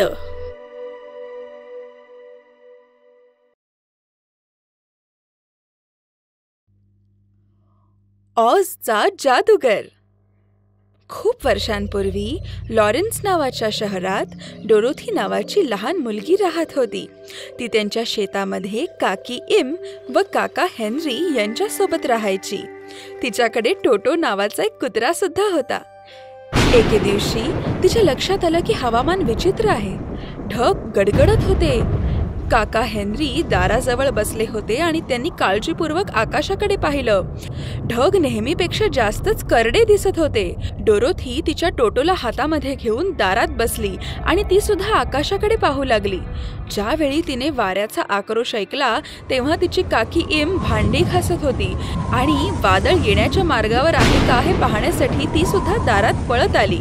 अचानक टोटोने डोरोथीच्या हातातून उडी मारली आणि त्या वादळाकडे पळत सुटला. डोरोथी देखील त्याला पकडण्यासाठी त्याच्यामागे धावत सुटली. शेवटी थोड्या वेळानं टोटो गरम हव्याच्या फुग्याच्या खाली लपला जे शेताच्या पलीकडे थांबले होते. तिथे ती एका खूपच मनोरंजक माणसाला भेटली. त्याचं नाव प्रोफेसर मार्वल होतं आणि तो गरम हव्याचा फुगा त्याच्या स्वतःच्या मालकीचाच होता. त्याने खूपच गमतीदार शब्दात डोरोथीचं स्वागत केलं. सिम सिम साला बिम जर मी चुकीचा नसेन तर तू लहान मुलगी डोरोथी आहेस. त्याला माझं नाव कसं माहीत झालं? हे जाणण्यासाठी डोरोथी उत्सुक होती. अचानक तिने पाहिलं एक मोठं चक्रीवादळ त्यांच्याकडे येत आहे. म्हणून तिनं टोटोला उचललं आणि जितक्या लवकर शक्य होईल तितक्या लवकर तळघराकडे पळाली. ज्यावेळी ती परतली त्यावेळी खूप उशीर झाला होता. ती घरामध्ये पळाली. परंतु ज्यावेळी चक्रीवादळ आलं तेव्हा ती पडली आणि तिच्या डोक्याला लागलं. त्या वादळानं खूपच वर हवेमध्ये संपूर्ण घर उचलून घेतलं. त्यावेळी डोरोथीचे आणि टोटो देखील घराच्या आतच होते. थोड्या वेळानंतर त्या घरानं जमिनीवर आश्रय घेतला. डोरोथी बाहेर आली आणि तिला समजलं की ती एका वेगळ्याच जागेवर आलीये ते ठिकाण लॉरेन्सपेक्षा खूपच रंगीत आणि सुंदर होतं. थोड्याच वेळात उत्तरेकडील चेटकी आणि ग्लिंडा तिथे अवतरली आणि तिने डोरोथीचं मनापासून स्वागत केलं. डॉरोथी ओसच्या भूमीवर तुझं स्वागत आहे. मी उत्तरेकडील एक चेटकीण आहे. अरे मी मी मी इथे कसे आले? माझ्या स्मृतीनुसार या ठिकाणी एक वादळ आलं आणि त्यानंतर त्यानंतर तू इथे आलीस माझ्या प्रिय डोरोथी. ते वादळ म्हणजे ओसच्या भूमीवर येण्याचं एक प्रवेशद्वार होतं. आणि पश्चिमेकडच्या दुष्ट चेटकिणीला मारल्याबद्दल मी तुझी खूप खूप आभारी आहे. तुम्ही खूप चांगले आहात परंतु इथे काहीतरी गडबड होतीये. मी कोणालाही मारलेलं नाही. तुझ्या घरानं मारलं. जाऊ दे गोष्ट एकच आहे. हे बघ.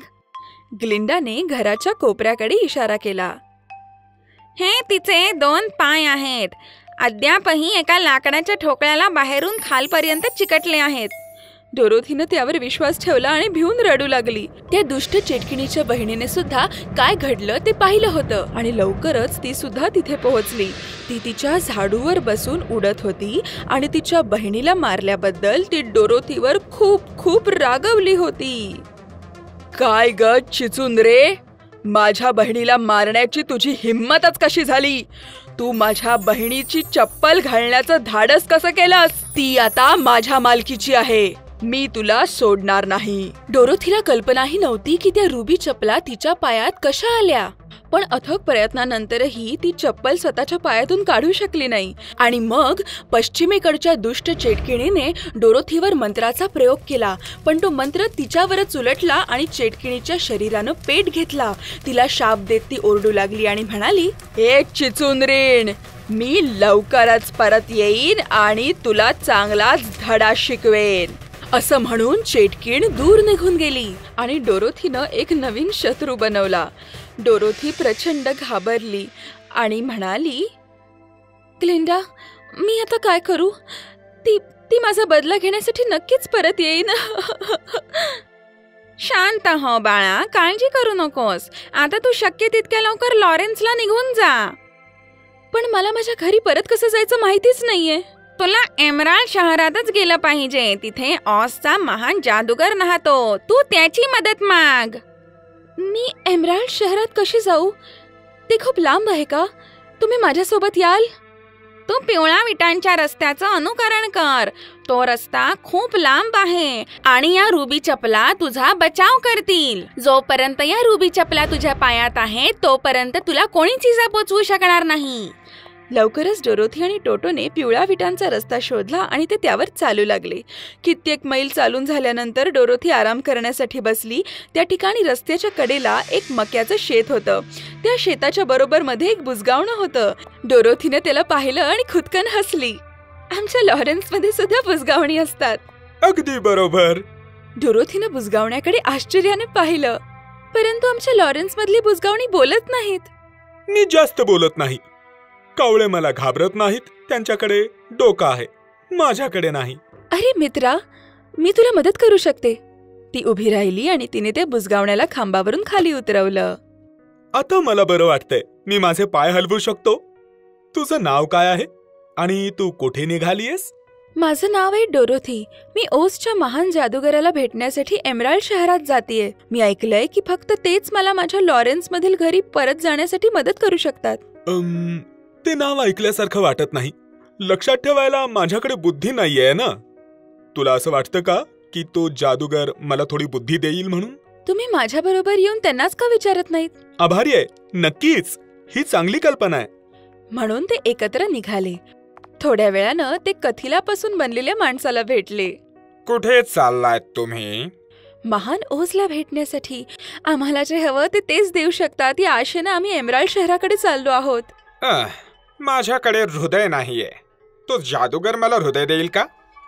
तुम्ही माझ्या बरोबर येऊन त्यांनाच का विचारत नाहीत? आभारी आहे. मी नक्कीच तुझ्या सोबत येईन. म्हणून ते सर्वजण पिवळ्या विटांच्या रस्त्यावरून चालू लागले. तो रस्ता एका दाट जंगलातून जात होता.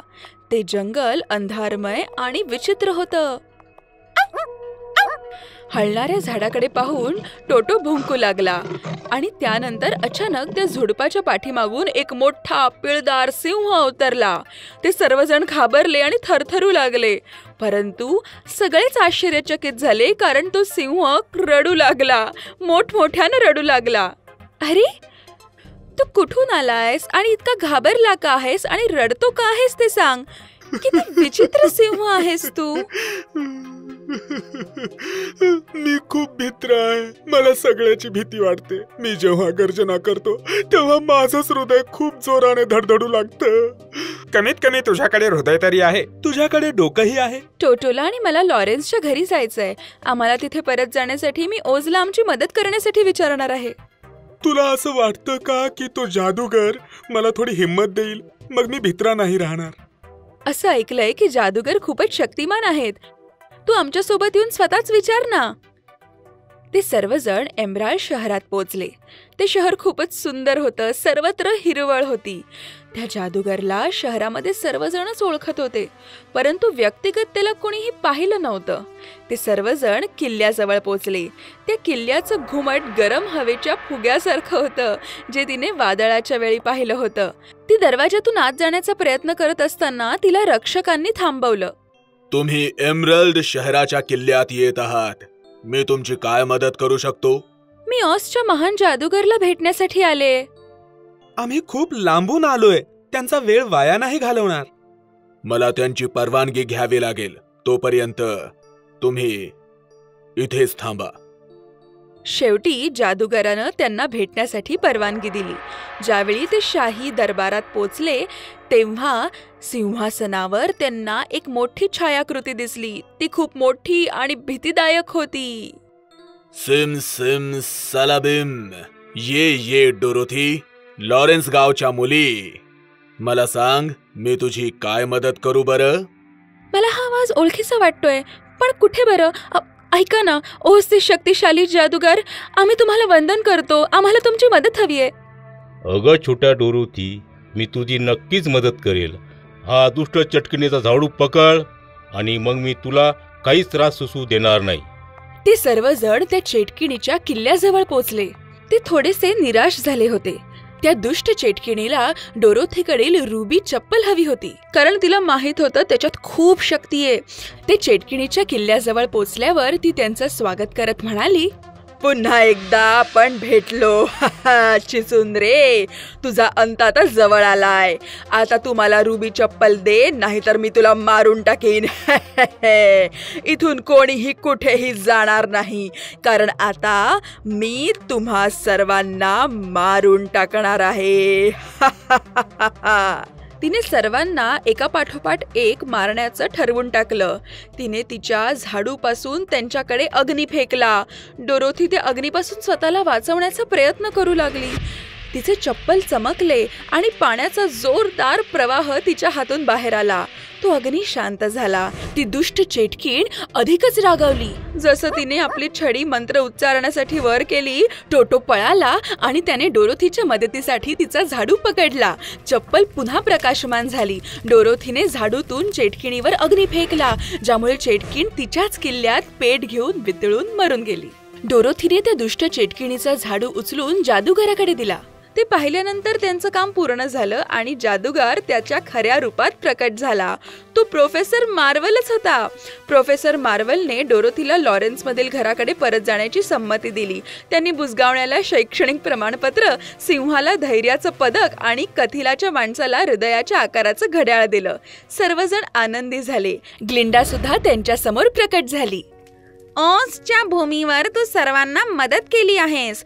त्यामुळे या रुबीच्या चपला आता तुझ्या मालकीच्या आहेत. आता तू हवं तेव्हा त्यांना नेऊ शकतेस. आणि जर कधी भविष्यात तुला माझी गरज पडली तर फक्त ते चप्पल एकमेकांवर तीन वेळा आदळ. मी तिथे येऊन प्रकट होईन. डोरोथीनं तिच्या सर्व मित्रांना बाय बाय केलं. प्रोफेसर मार्वल डोरोथी आणि टोटोनं गरम हवेच्या फुग्यामधून झेप घेतली. तिला माहीत होण्याच्या पूर्वीच ती स्वतःच्या लॉरेन्समध्ये परतली होती. काकी एम आणि काका हेनरी तिला उठवण्याच्या प्रयत्नात होते. डोरोथी मोठ्या जांभईसह उठली. तिनं त्यांना सांगण्याचा प्रयत्न केला की तिने किती साहस केलंय परंतु त्यांच्यासाठी ते फक्त एक स्वप्नच होतं. जशी तिने तिची चादर ओढली तसं तिला दिसलं की चमकदार रुबी चप्पल तर तिच्या पायाजवळ बिछाण्यावरच आहेत. गोष्ट संपली.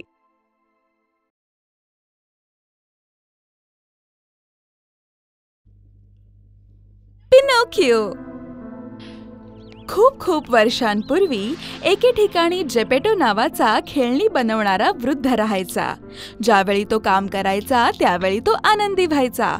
ज्यावेळी तो विश्रांती घ्यायचा त्यावेळी तो दुःखी व्हायचा. मी आयुष्यभर मुलांसाठी काम केलं पण मला माझा स्वतःचा मुलगा नाहीये.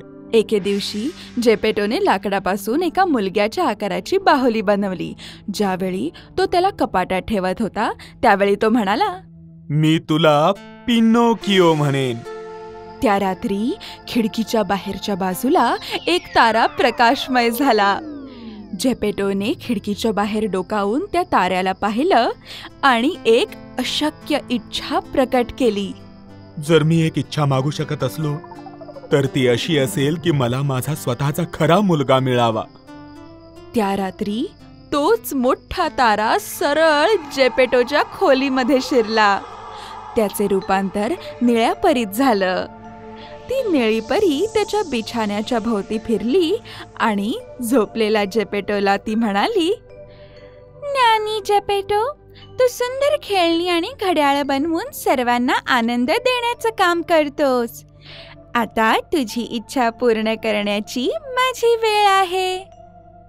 त्यानंतर ती पिनॉकिओकडे गेली आणि म्हणाली लाकडाच्या लहान खेळण्या तू खऱ्या मुलग्याप्रमाणे चालायला आणि बोलायला लागशील. ती तिच्या जादुई छडीनं एक वेळ खेळण्याला स्पर्श करू लागली. आणि जर तू स्वतःला धैर्यवान आणि बरोबर सिद्ध करू शकलास तर एक दिवस तू खरा मुलगा बनशील. पिनोकिओचे डोळे उघडले आणि परीच्या दुसऱ्या शब्दासह एक रातकिडा उतरला. जेमिनी नावाच्या रातकिड्याला भेट. तो तुला जागरूक ठेवेल. कोणतेही विचारी निर्णय घेण्यासाठी तुझ्या बरोबर राहून तो तुला मदत करेल. आणि त्याच वेळी निळी परी प्रकाशमय झाली आणि निघून गेली. दुसऱ्याच दिवशी ज्यावेळी जेपेटो झोपेतून उठला तो म्हणाला मी जाईन. आणि माझ्या पिनोकिओला बाहेर काढेन आणि त्याला छानपैकी पूर्ण करेन. परंतु कपाट रिकामं होतं. झेपेटोला चिंता होऊ लागली आणि त्यानं संपूर्ण घर शोधण्यास सुरुवात केली. अचानक त्या खोलीच्या दुसऱ्या बाजूनं एक आवाज आला. बाबा मी इथे आहे बाबा. काय? तू बोलू शकतोस? हो मी पिनोकिओ तुमचा मुलगा. हे कसं शक्य आहे? तो लगेच गेला आणि त्याने त्या लाकडाच्या बाहुल्याला मिठी मारली. पिनोकिओ माझा मुलगा. तो खूप आनंदानं म्हणाला एके दिवशी पिनाकिओने काही मुलांना शाळेत जाताना पाहिलं आणि तो झेपेटोला म्हणाला मला दुसऱ्या मुलांप्रमाणे शाळेत जायचं आहे दुसऱ्याच दिवशी जेपेटो शाळेच्या पुस्तकांसह घरी आला. आता तू शाळेत जाऊ शकतोस. त्याच्या दुसऱ्या दिवशीच पिनॉकिओ जेपेटोला गुड बाय म्हणाला. तो शाळेच्या मार्गावर निघून जायचा आणि आनंदानं परत यायचा. रातकिडा त्याच्या खांद्यावरच बसायचा. तेही आनंदात. आणि त्यांच्या येण्याच्या मार्गावरच एक लोभी कोल्हा आणि एक मूर्ख मांजर होतं. तू किती छान मुलगा आहेस. आणि या चांगल्या दिवशी तू कुठं चाललायस? मी शाळेत जातोय. तू आमच्यासोबत चल जत्रेला. त्याने आपला हात पिनाकिओच्या खांद्यावर ठेवला. माझं ऐक तुला जे काही शिकायचंय तू त्या ठिकाणी शिकू शकतोस. खरंच? मी एका कागदावर ते लिहीन आणि तू ते माझ्याकडून घे. हो तू ते त्याच्याकडून घेऊ शकतोस. शांत बस मूर्खा. तू काळजी करू नकोस पिनॉकिओ. आपण त्या ठिकाणी एकदा जाऊ त्यानंतर तुझ्यासाठी तू काहीही घे. मग जेमिनी म्हणाला पिनोकिओ तो जे बोलतोय त्याची त्याला कल्पनाच नाहीये. कोल्ह्याने त्याच्या बोटानं टिचकी मारली आणि त्याला दूर फेकून दिलं. पिनोकिओ त्याचं काहीही ऐकू नकोस. ठीक आहे आपण त्या ठिकाणी जाऊया. आणि ज्यावेळी ते जात होते नाही पिनोकिओ थांब. परंतु पिनोकिओ कोल्हा आणि मांजरानं त्याचं काहीही ऐकलं नाही. ते पहिल्यापासूनच त्या ठिकाणी होते. स्टेजवर कळसूत्री भावल्यांचा खेळ पूर्ण जोराशोरात सुरू होता. मीही एक बाहुला आहे. मी त्यांच्यासारखं नाचू शकतो? पिनोकिओने त्या स्टेजवर उडी घेतली आणि दुसऱ्या बाहुल्यांबरोबर तो नाचू लागला. अचानक गर्दीने त्याचा जयघोष केला. त्या नव्या बाहुल्याकडे पहा. त्याला कोणती पण दोरी नाही. दोरी नाही? सर्वजण खूप आणि खूपच हसले. त्यांनी स्टेजवर पैसे फेकले. ही जत्रा चालवणाऱ्या स्ट्रॉम्बोली नावाच्या एका व्यक्तीने पाहिलं की स्टेजवर पैसे पडतायत. तो माणूस त्याच्या अत्यंत लोभीपणाबरोबरच भटका आणि कठोर होता. ठीक आहे. हनुवटी खाजवत हा बिना दोरीचा बाहुला मला खूप श्रीमंत बनवेल. अचानक पिनाक्यूला काही कळण्याच्या आत त्याने स्वतःला उचललेलं आणि पिंजऱ्यात ढकललेलं बघितलं. अरे मला बाहेर काढा. नाहीतर मी माझ्या बाबांना बोलवेन. ते तुम्हाला धडा शिकवतील. तुला मी मूर्ख वाटतो की काय रे पोरा? जेवढं ओरडायचं तेवढं ओरड. तुला कोणीही वाचवणार नाही. मी याच दिवसाची वाट पाहत होतो. तूच मला श्रीमंत व्यक्ती बनवू शकशील. स्ट्रॉम्बोली गेल्यानंतर पिनाकिओ मदतीसाठी ओरडू लागला. जेमिनी क्रिकेट शिवाय पिनाकिओचा आवाज कुणीही ऐकला नाही. मी अडकलो. हे माझ्या बरोबर कसं घडलं? तू माझ्याकडे दुर्लक्ष केलंस म्हणून असं घडलं. आता रडू नकोस. मी तुझ्या बरोबर आहे. आपण येथून बाहेर निघण्याचा मार्ग काढू. त्यावेळी अचानक आश्चर्यच झालं. निळी परी अवतरली. कृपया तू मला मदत करशील? आधी मला सांग तू या पिंजऱ्यात कसा काय अडकलास? त्यानं परीसोबत खोटं बोलण्याचं ठरवलं आणि तो परीला असं म्हणाला आम, आम, मला चोरला गेलं. हे खरं आहे? ती शंकेनं म्हणाली. पिनोकिओचं नाक वाढू लागलं. होय चोरलं. दोन माणसांनी नाही नाही चार माणसांनी. नाक आणखी वाढू लागलं. त्यांनी माझी पुस्तकं घेतली. त्यांनी मला येथे आणण्यास भाग पाडलं आणि त्यांनी मला या पिंजऱ्यात बंद केलं. पिनाकिओचं नाक वाढत गेलं वाढत गेलं आणि इतकं वाढत गेलं की त्याला डोळ्यासमोर फक्त ते भलं मोठं नाक आणि त्यावर बसलेलं पक्ष्यांचं घरट दिसत होतं. माझं नाक मोठं का होतंय? पिनोकिओ तुला खरं काय आहे ते माहिती आहे. हो कदाचित. खरं तर मला जत्रेला यायचं होतं आणि मी इथे कोल्हा आणि मांजर यांच्या सोबत आलो. त्याचं नाक छोटं झालं आणि ते घरट खाली पडलं. त्यानंतर कोणीतरी मला या पिंजऱ्यात बंद केलं. त्याचं नाक पूर्वीसारखं झालं. ठीक आहे मी आता तुला इथून बाहेर काढते. तिने जादूची छडी फिरवली आणि पिनोकिओला तिथून बाहेर काढलं. ही तुझी पुस्तकं आहेत. लक्षात ठेव. आता इथून पुढे तूच तुझा जबाबदार आहेस. खात्री आहे की तू पुढील वेळीस योग्य तेच करशील. त्यांच्या संभाषणानंतर निळी परी गायब झाली.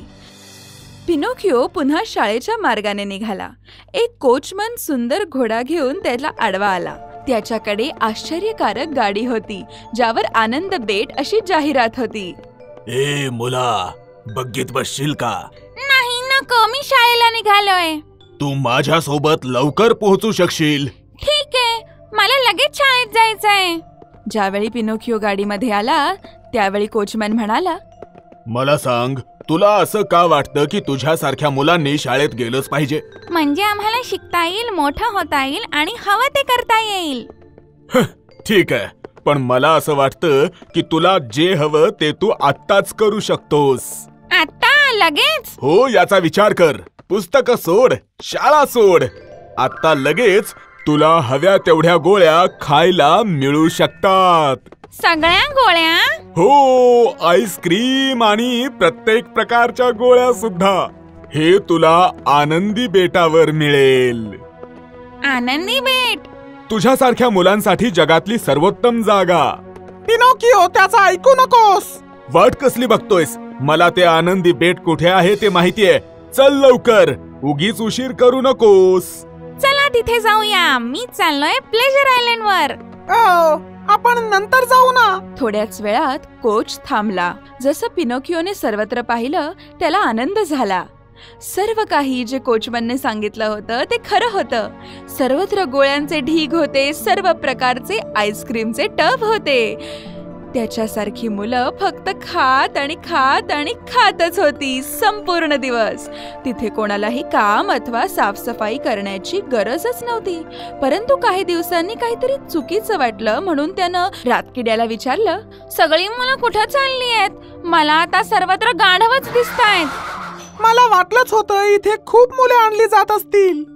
त्यानंतर त्याच्या एका कानाचं गाढवाच्या कानात रूपांतर झालं. त्यानंतर त्याच्या दुसऱ्या कानाचंही गाढवाच्या कानात रूपांतर झालं. अरे बापरे! तुला हे काय होतंय? मला नाही माहीत. हाची हाची अरे देवा! आत्ता मला कळलं. इथं मुलांचं रूपांतरण गाढवांत होतंय. त्यानंतर गाढवे विकली जातात. पिनोकिओ जेवढं शक्य होईल तेवढ्या लवकर इथून निघावं लागेल. चल जाऊया. लवकर पळ! ते प्लेजर आयलंड वरून बाहेर पळाले. ते लवकरच समुद्रातील जहाजाजवळ पोहोचले पिनोकिओने त्या जहाजाच्या एका माणसाला विचारलं कृपया सर मी एका वृद्ध मनुष्य जेपेटोला शोधतोय. तुम्हाला तो माहीत आहे का हॉही हॉही? अरे अरे हो. तो वृद्ध मनुष्य ज्याचा मुलगा एके दिवशी हरवला होता आणि परत आलाच नाही. तो त्याला शोधायला बाहेर पडला. त्यानंतर त्याला कोणीच पाहिलं नाही. अरे देवा ही पण माझी चूक आहे. हॉ, हॉ. मी माझ्या बाबांना नक्कीच शोध घेईन. मी त्यांना शोधून काढेन. पिनाकिओने किनाऱ्यावरून समुद्रात उडी मारली. त्याच्यानंतर लगेचच रातकिड्यानं सुद्धा उडी मारली. पिनोकिओ बहुतांशी लाकडापासून बनला होता म्हणूनच तो समुद्रावर तरंगू लागला. त्यावेळी त्यांच्याकडे अत्यंत वेगानं काहीतरी येत होतं. काहीतरी मोठं आणि खूप जलद. त्याच वेळी तिथे प्रचंड मोठा देवमासा आला. त्यानं त्याचा मोठा जबडा उघडला आणि एकाच घासात पिनोकिओला गिळून टाकलं. ते दोघं आता देवमाशाच्या अंधारमय पोटात होते. तू ठीक आहेस का? पिनोकिओनं रातकिड्याला विचारलं. मी ठीक आहे. एक मिनिट. बाबा तुम्ही आहात? बाबा बाबा मी पिनोकिओ आहे. पिनोकिओ माझा मुलगा. मला वाटलं मी स्वप्नात आहे. त्यांनी आनंदानं मिठी मारली. पिनोकिओनं एकट्याला सोडल्याबद्दल माफी मागितली आणि पिनोकिओला परत मिळवून जेपेटो आनंदी झाला. मला माफ करा बाबा. मला माझी चूक कळलीये. आणि मी परत तुम्हाला एकटं कधीच सोडणार नाही. आपल्याला इथून निघायला हवं. माझ्याकडे एक युक्ती आहे. आपण आग लावू ज्यामुळे आपल्याला बाहेर पडता येईल. त्यांनी ती सर्व लाकडं गोळा केली जी माशानं चुकून गिळली होती आणि त्यांनी अग्नी पेटवला. असं करून आपण या माशाला शिंक आणू शकतो. जास्त धूर करण्यासाठी पिनोकिओनं आपले हात त्या अग्नीवर पकडले. लगेचच काळ्या धुराचे ढग तयार होऊ लागले. आणि मग त्यानंतर आचू! अशी देवमाशाने शिंक दिली. मोठ्या शिंकेमधून पिनोकिओ जपेटो आणि रातकिडा सगळेजण देवमाशाच्या नाकातून बाहेर पडले. समुद्राच्या पाण्यावरून घसरत घसरत गेले आणि शेवटी किनाऱ्यावर येऊन पडले. त्यानंतर अचानक निळी परी त्यांच्या पुढे अवतरली. पिनोकियो तू तुझ्या बाबांना वाचवलंयस. तू तुझ्या मनाचे ऐकून योग्य निर्णय घेतलायस आणि सिद्ध केलंय की तुम्ही दोघही खूप धैर्यवान आणि बरोबर आहात आणि म्हणूनच तू खरा मुलगा होशील. निळ्या परीनं आपल्या छडीनं पिनोकिओच्या डोक्याला स्पर्श केला. पिनोकिओनं त्याच्या मऊ हात आणि पायांना पाहिलं. निळी परी रातकिड्याकडे गेली आणि म्हणाली इथलं तुझं काम आता संपलंय. त्यानंतर पिनोकिओ आणि जपेटो कायमचे आनंदात राहू लागले. गोष्ट संपली.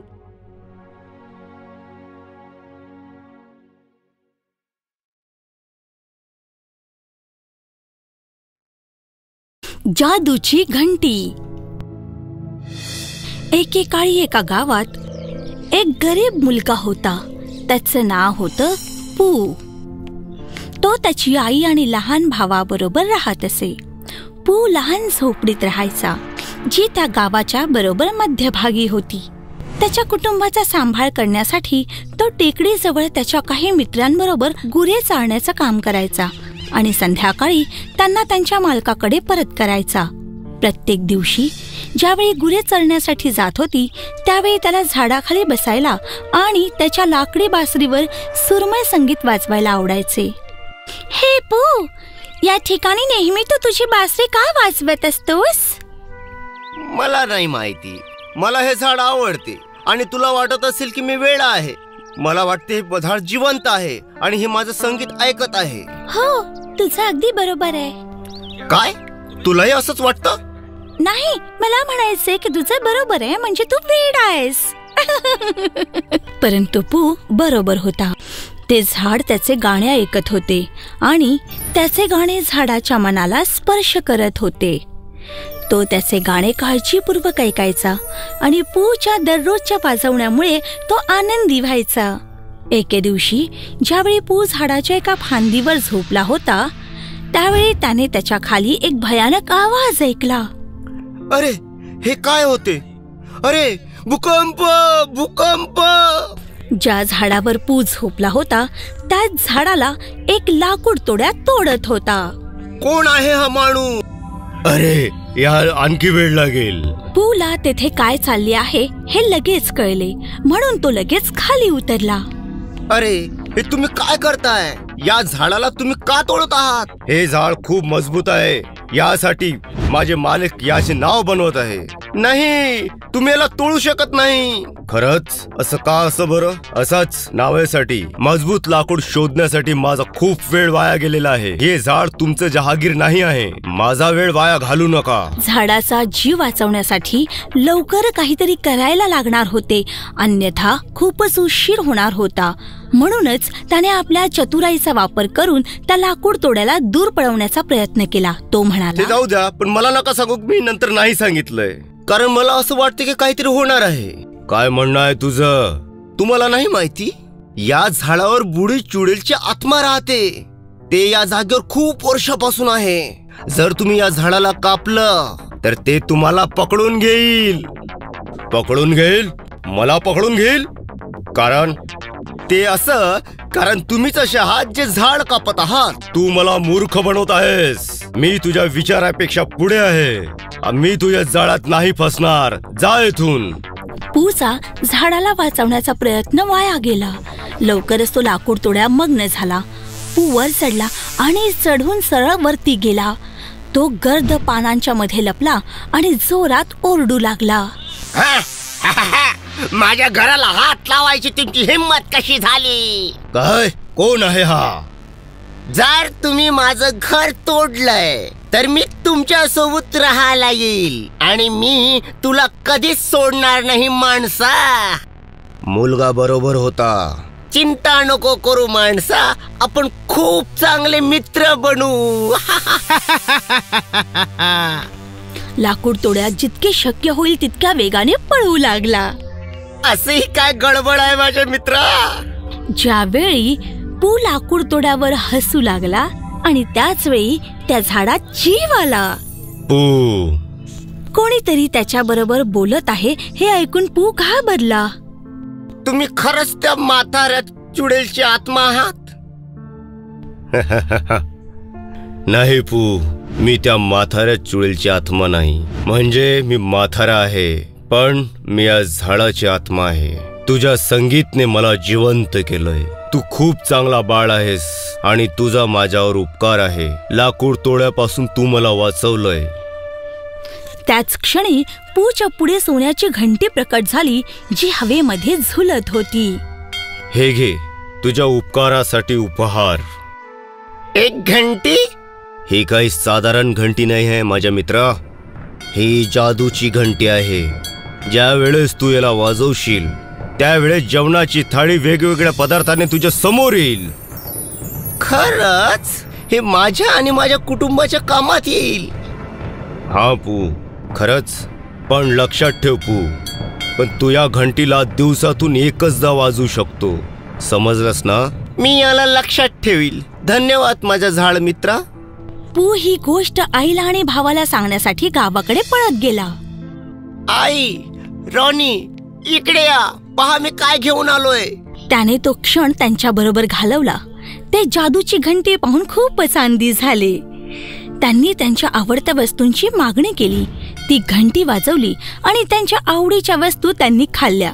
त्यानंतर खूप वेळानंतर त्यांचे पोट संपूर्ण भरल्यामुळे आणि स्वादिष्ट अन्नामुळे ते झोपी गेले.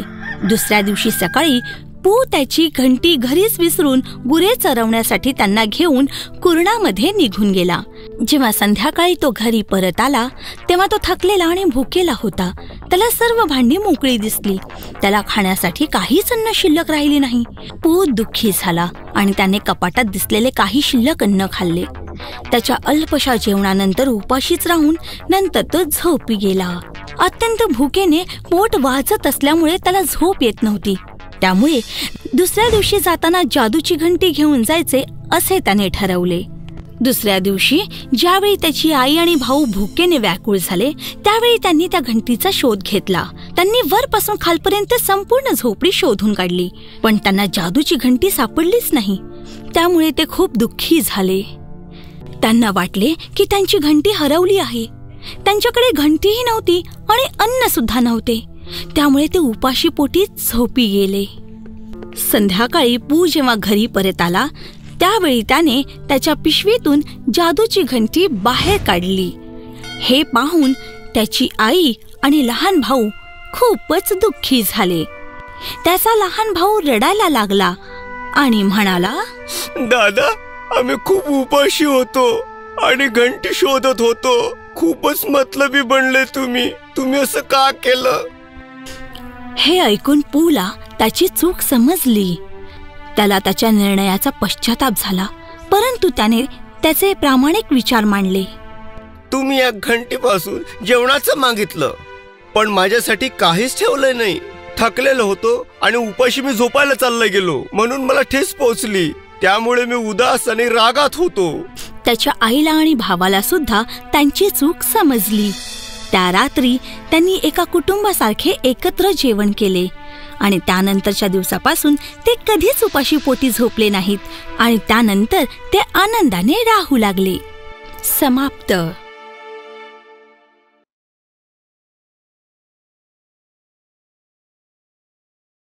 अद्भुत प्रदेशात ॲलिस स्वीट विले नावाच्या एका लहानशा गावात एक सुंदर अशी लहान मुलगी ॲलिस तिच्या जुळ्या लहान भावाबरोबर राहत होती. त्यांच्याकडे त्यांच्या घराच्या मागे एक सुंदर आणि रंगीबेरंगी बगीचा होता. ॲलिस ते बागेमध्ये त्याच्याबरोबर खेळत असायची आणि ज्यावेळी ती थकून जायची त्यावेळी ती झाडाखाली बसायची. एके दिवशी ज्यावेळी ती त्या झाडाखाली आराम करत होती त्यावेळी एक पांढरा ससा तिच्या जवळ आला. ती त्याला बघून आश्चर्यचकित झाली कारण तिथे त्या सशाबद्दल काहीतरी उल्लेखनीय होतं. त्याने मानवाप्रमाणे जॅकेट घातलं होतं. त्याने त्याच्या जॅकेटमधून एक जुनं डायलचं घड्याळ काढलं आणि म्हणाला अरे बापरे अरे बापरे मला उशीर होतोय. ती त्या सशाकडे जिज्ञासेने पाहतच राहिली आणि तो काय म्हणतोय ते ऐकण्याचा प्रयत्न करत होती. तिला आश्चर्य वाटलं आणि वाढत्या जिज्ञासेसह ती लगेच त्याच्या पाठीमागे पळत सुटली. तिनं पाहिलं की तो ससा एका झुडपाखाली मोठ्या बिळात शिरलाय. दुसऱ्या कोणताही विचार न करता तिनंही त्याच्या पाठोपाठ उडी घेतली. तिला समजण्याच्या आधीच तिने स्वतःला खाली खोल गेल्याचं पाहिलं. एकतर मी खूप हळुवार जातीये किंवा हे बीळ खूप खोल आहे. लवकरच ती पंखांप्रमाणे तिच्या पायावर एका पांढऱ्या निर्दोष आणि चमकणाऱ्या फरशीवर उतरली. तिला दिसलं की त्या छोट्या खोलीत तीन सुंदर लाकडाचे कोरलेले दरवाजे आहेत. ते सर्व वेगवेगळ्या आकारांमध्ये आणि रंगांमध्ये होते. पहिला दरवाजा लाल रंगाचा होता आणि ॲलिसच्या आकाराच्या निम्मा होता. दुसरा दरवाजा पांढरा होता आणि ॲलिसला आत जाण्याच्या मापाचा होता. तिसरा दरवाजा हिरवा होता आणि खूप खूप लहान होता. ॲलिसने एकन एक दरवाजा तपासला पण ते सगळेच बंद होते. त्या खोलीच्या बरोबर मध्यभागी तिने एक लाकडाचं टेबल पाहिलं. त्याच्यावर सोन्याच्या एका किल्लीशिवाय दुसरं काहीच नव्हतं. ज्याच्यावर फक्त लिहिलं होतं मला वापरा. तिचे डोळे आनंदाने चमकले आणि तिने किल्ली उचलली आणि पहिल्या दरवाज्यावर प्रयत्न केला. एकतर त्या किल्लीचं छिद्र खूपच मोठं होतं किंवा ती किल्ली खूपच लहान होती. ती त्या लाल दरवाजाला बसली नाही त्यामुळे तिने पांढऱ्या दरवाजावर प्रयोग केला. ती किल्ली त्या पांढऱ्या दरवाजासाठी सुद्धा बनली नव्हती. त्यानंतर तिने त्या किल्लीने हिरवा दरवाजा उघडण्याचा प्रयत्न केला आणि त्या किल्लीने लगेच त्या दरवाजाचं कुलूप उघडलं. ॲलिसने दरवाजा उघडला. तिने गुडघे टेकले आणि त्यातून पाहिलं. कोणीही कल्पना करू शकणार नाही असा बगीचा तिने पाहिला. तिला प्रचंड आश्चर्य वाटलं पण तितकीच हतबलता जाणवली. मी या दरवाजामधून जाण्याची खूप इच्छा धरून आहे. दुसरे दोन दरवाजे उघडण्यासाठी किल्ली शोधण्याच्या आशेनं ती त्या टेबलाकडे परत आली. परंतु त्यावेळी तिने एक बाटली शोधली त्यात हिरवं चमकणारं औषध होतं. त्यावर सुद्धा मला प्या अशी एक चिठ्ठी होती. ॲलिसने ते थोडंसं प्यायलं परंतु त्या हिरव्या दरवाजामधून जाण्यासाठी तिला जेवढा विचार करायचा होता तेवढा तिने केला. तिने ते औषध प्यायलं आणि तिच्याबरोबर काहीतरी वेगळंच घडू लागलं. तिने पाहिलं की ती खोली खूपच मोठी होऊ लागली परंतु त्यावेळी ॲलिसच लहान होत होती. काहीतरी विचित्र वाटतंय मला. आता यापुढे तिला बाटली पकडताच आली नाही. ती आता फक्त काही इंचच उंचीची राहिली. तिचा चेहरा आता फक्त एकाच विचारानं फुलला होता की ती आता त्या लहान दरवाजामधून सुंदर बागेत जाऊ शकणार आहे. ती त्या सुंदर बागेमध्ये गेली. त्या ठिकाणी सर्वत्र खूप मोठी चॉकलेटची झाडं होती. सर्वत्र गोळ्या आणि गोळ्याच होत्या आणि आमरस आणि दुधाच्या सुंदर नद्या वाहत होत्या. तिनं पाहिलं की विचित्र दिसणारी झाडं पर्वतावर उंचीवर होती. अचानक तोच पांढरा ससा ॲलिसच्या पुढ्यात आला आणि अहंकाराने तिला म्हणाला अगं ए सडपातळ बुटकी. तू बुजगावण्यासारखी इथे काय उभी आहेस? माझ्या घरात जा आणि ग्लव्स घेऊन ये. तुला माहिती आहे ना मला चहापाटीला उशीर होतोय? हो हो हो महाशय. मी तुमचे घर कुठे शोधू ते कृपया मला सांगाल का? अरे मूर्ख लहान उंदरा तुझ्या पाठीमागच्या चॉकलेटच्या संगमरवराच्या रस्त्याने जा. तुला एक टेकडीवर गाजराच्या आकाराचा केक दिसेल. तेच माझं घर आहे. आता तू तिथे जा. शुश लक्षात ठेव माझ्या घरात काही खायचं नाहीये. नाहीतर परिणाम भोगावे लागतील. ॲलिसला तो आवाज आवडला नाही. परंतु ती खूप गोंधळली आणि घाबरली होती. त्यामुळे पुन्हा प्रश्न न करता ती त्याच्या घराकडे चालू लागली. त्याने चुकून मला त्याची दासी बनवलं असावं. ती त्या पांढऱ्या सशाच्या छोट्याशा लहान घरात गेली. टेबलावरच तिला ग्लव्सची एक जोडी दिसली आणि त्याच्यावरच एक सुंदर केक दिसला. त्यावर लिहिलं होतं मला खा. यम्मी. परंतु सशाने पहिलेच मला काहीही खाऊ नको असं सांगितलं होतं. मी आता काय करू? या ठिकाणी त्याचा एक लहान तुकडा घेतल्यानं काय फरक पडणार आहे? आणि त्यानंतर तिने तो केक खाल्ला. तिच्या आकारामध्ये वाढ होऊ लागली. परंतु ती तिच्या नेहमीच्या आकारावर थांबली नाही. खरं तर ती खूप खूप खूप वाढत गेली. त्यामुळे तिचं डोकं छतालाच टेकलं. तिला हलता येत नव्हतं आणि ती अडकून गेली. अरे मी अडकले. कोणी मदत करा? कृपया कोणी मदत करा. ॲलिसने ते घर मोडलं आणि बाहेर आली. ती घाबरली होती आणि त्या दिवसासाठी ते खूपच साहसी होतं. ती लगेच जवळच्या जंगलामध्ये पळाली आणि चॉकलेटच्या मशरूमच्या बाजूला बसली. अरे देवा हे माझ्याबरोबर काय घडतंय? मी काय चुकीचं केलंय? पहिली गोष्ट म्हणजे मला काहीही करून माझ्या नेहमीच्या आकारामध्ये परत यायचंय. अचानक मशरूमच्या बाजूने त्या ठिकाणी एक सुरवंट आला. गरीब लहान महाकाय मुलगी मी तुझी मदत करू का? माझं काळजीपूर्वक ऐक. जर तू हे कोडं सोडवलंस तर तुला यावर उपाय मिळेल. मी असं काहीतरी आहे ज्याला तोडून कागद आणि काड बनवतात. माझा उपयोग करून तुमची घरं बनवली जातात आणि बसण्याचं सामानही तू सुखरूप जा लहान महाकाय मुली. ऍलिसला उकल देऊन सुरवंट तिथून निघून गेला. अरे मला त्याचं उत्तर सांगणार नाहीस. अचानक तिला कल्पवृक्षाची आठवण झाली ज्याला तिनं पहिल्यांदा पाहिलं होतं. अरे हो मला याचं उत्तर मिळालं. एकदा तिला कळलं की त्याचं उत्तर झाड आहे तेव्हा ती पर्वतावर गेली आणि त्याच्या पुढे उभी राहिली. अरे प्रचंड मोठ्या वृक्षा मला मूळ रूपात आणण्यासाठी मदत करशील का? आणि माझ्या दैनंदिन जीवनात कसं जायचं ते सांगशील का? नक्कीच माझ्या प्रिय ॲलिस. मी कल्पवृक्ष आहे आणि मला सर्व काही माहिती आहे.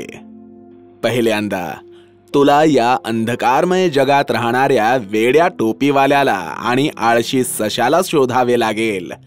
ते तुला घरी जाण्याचा योग्य सल्ला देतील परंतु तू त्यांनी दिलेला चहा मात्र पिऊ नकोस नाहीतर तुझी अवस्था सुद्धा त्या वेड्या टोपीवाल्याप्रमाणे किंवा आळशी सशाप्रमाणे होईल. आता हे फळ खा. तुला तुझ्या मूळ रूपाकडे जाण्यास हे मदत करेल. मी तुझी आभारी आहे वृक्षा. मी निश्चितच तुझ्या सूचनांचं पालन करेन.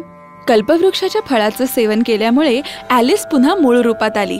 आता तिला तिच्या घरी जाण्यासाठी खूपच उशीर झाला होता म्हणून ती वेड्या टोपीवाल्याला शोधण्यासाठी पुन्हा जंगलात गेली. तिच्या मार्गावरच ती तिच्याकडे विचित्रपणे पाहणाऱ्या एका घुबडाला भेटली. नमस्कार सर. तुम्ही मला वेड्या टोपीवाल्याला कसं शोधायचं सांगाल? एक वृद्ध ज्ञानी घुबड तिथे बसलाय. त्या मार्गाने जा. तुला काही संकेत मिळतील.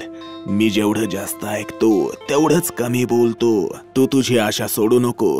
वेड्या टोपीवाल्याला शोध त्याला विनोद ऐकव त्याला हसव. जाग झाल्यावर तो तुझी मदत करेल.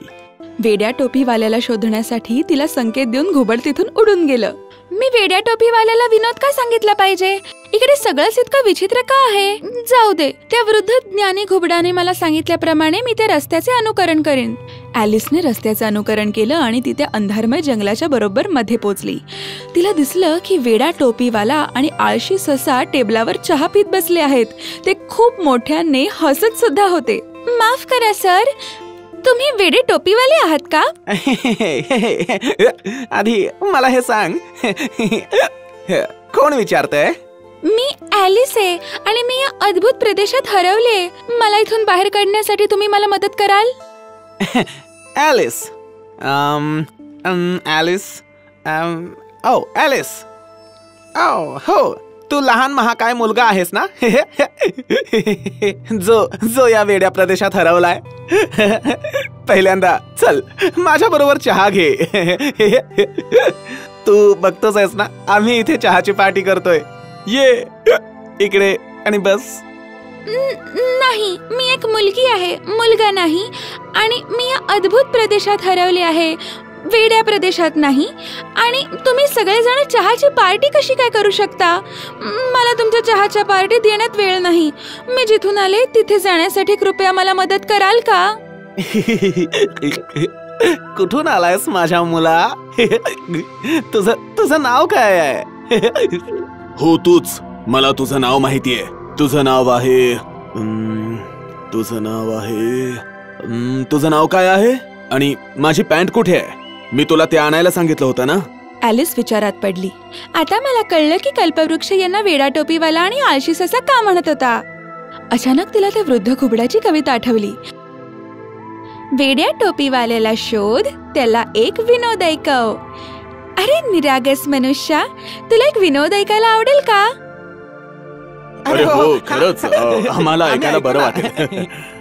एका टायने एका टोपीला काय सांगितलं? तू पुढे जा आणि मी सभोवती लटकत राहीन.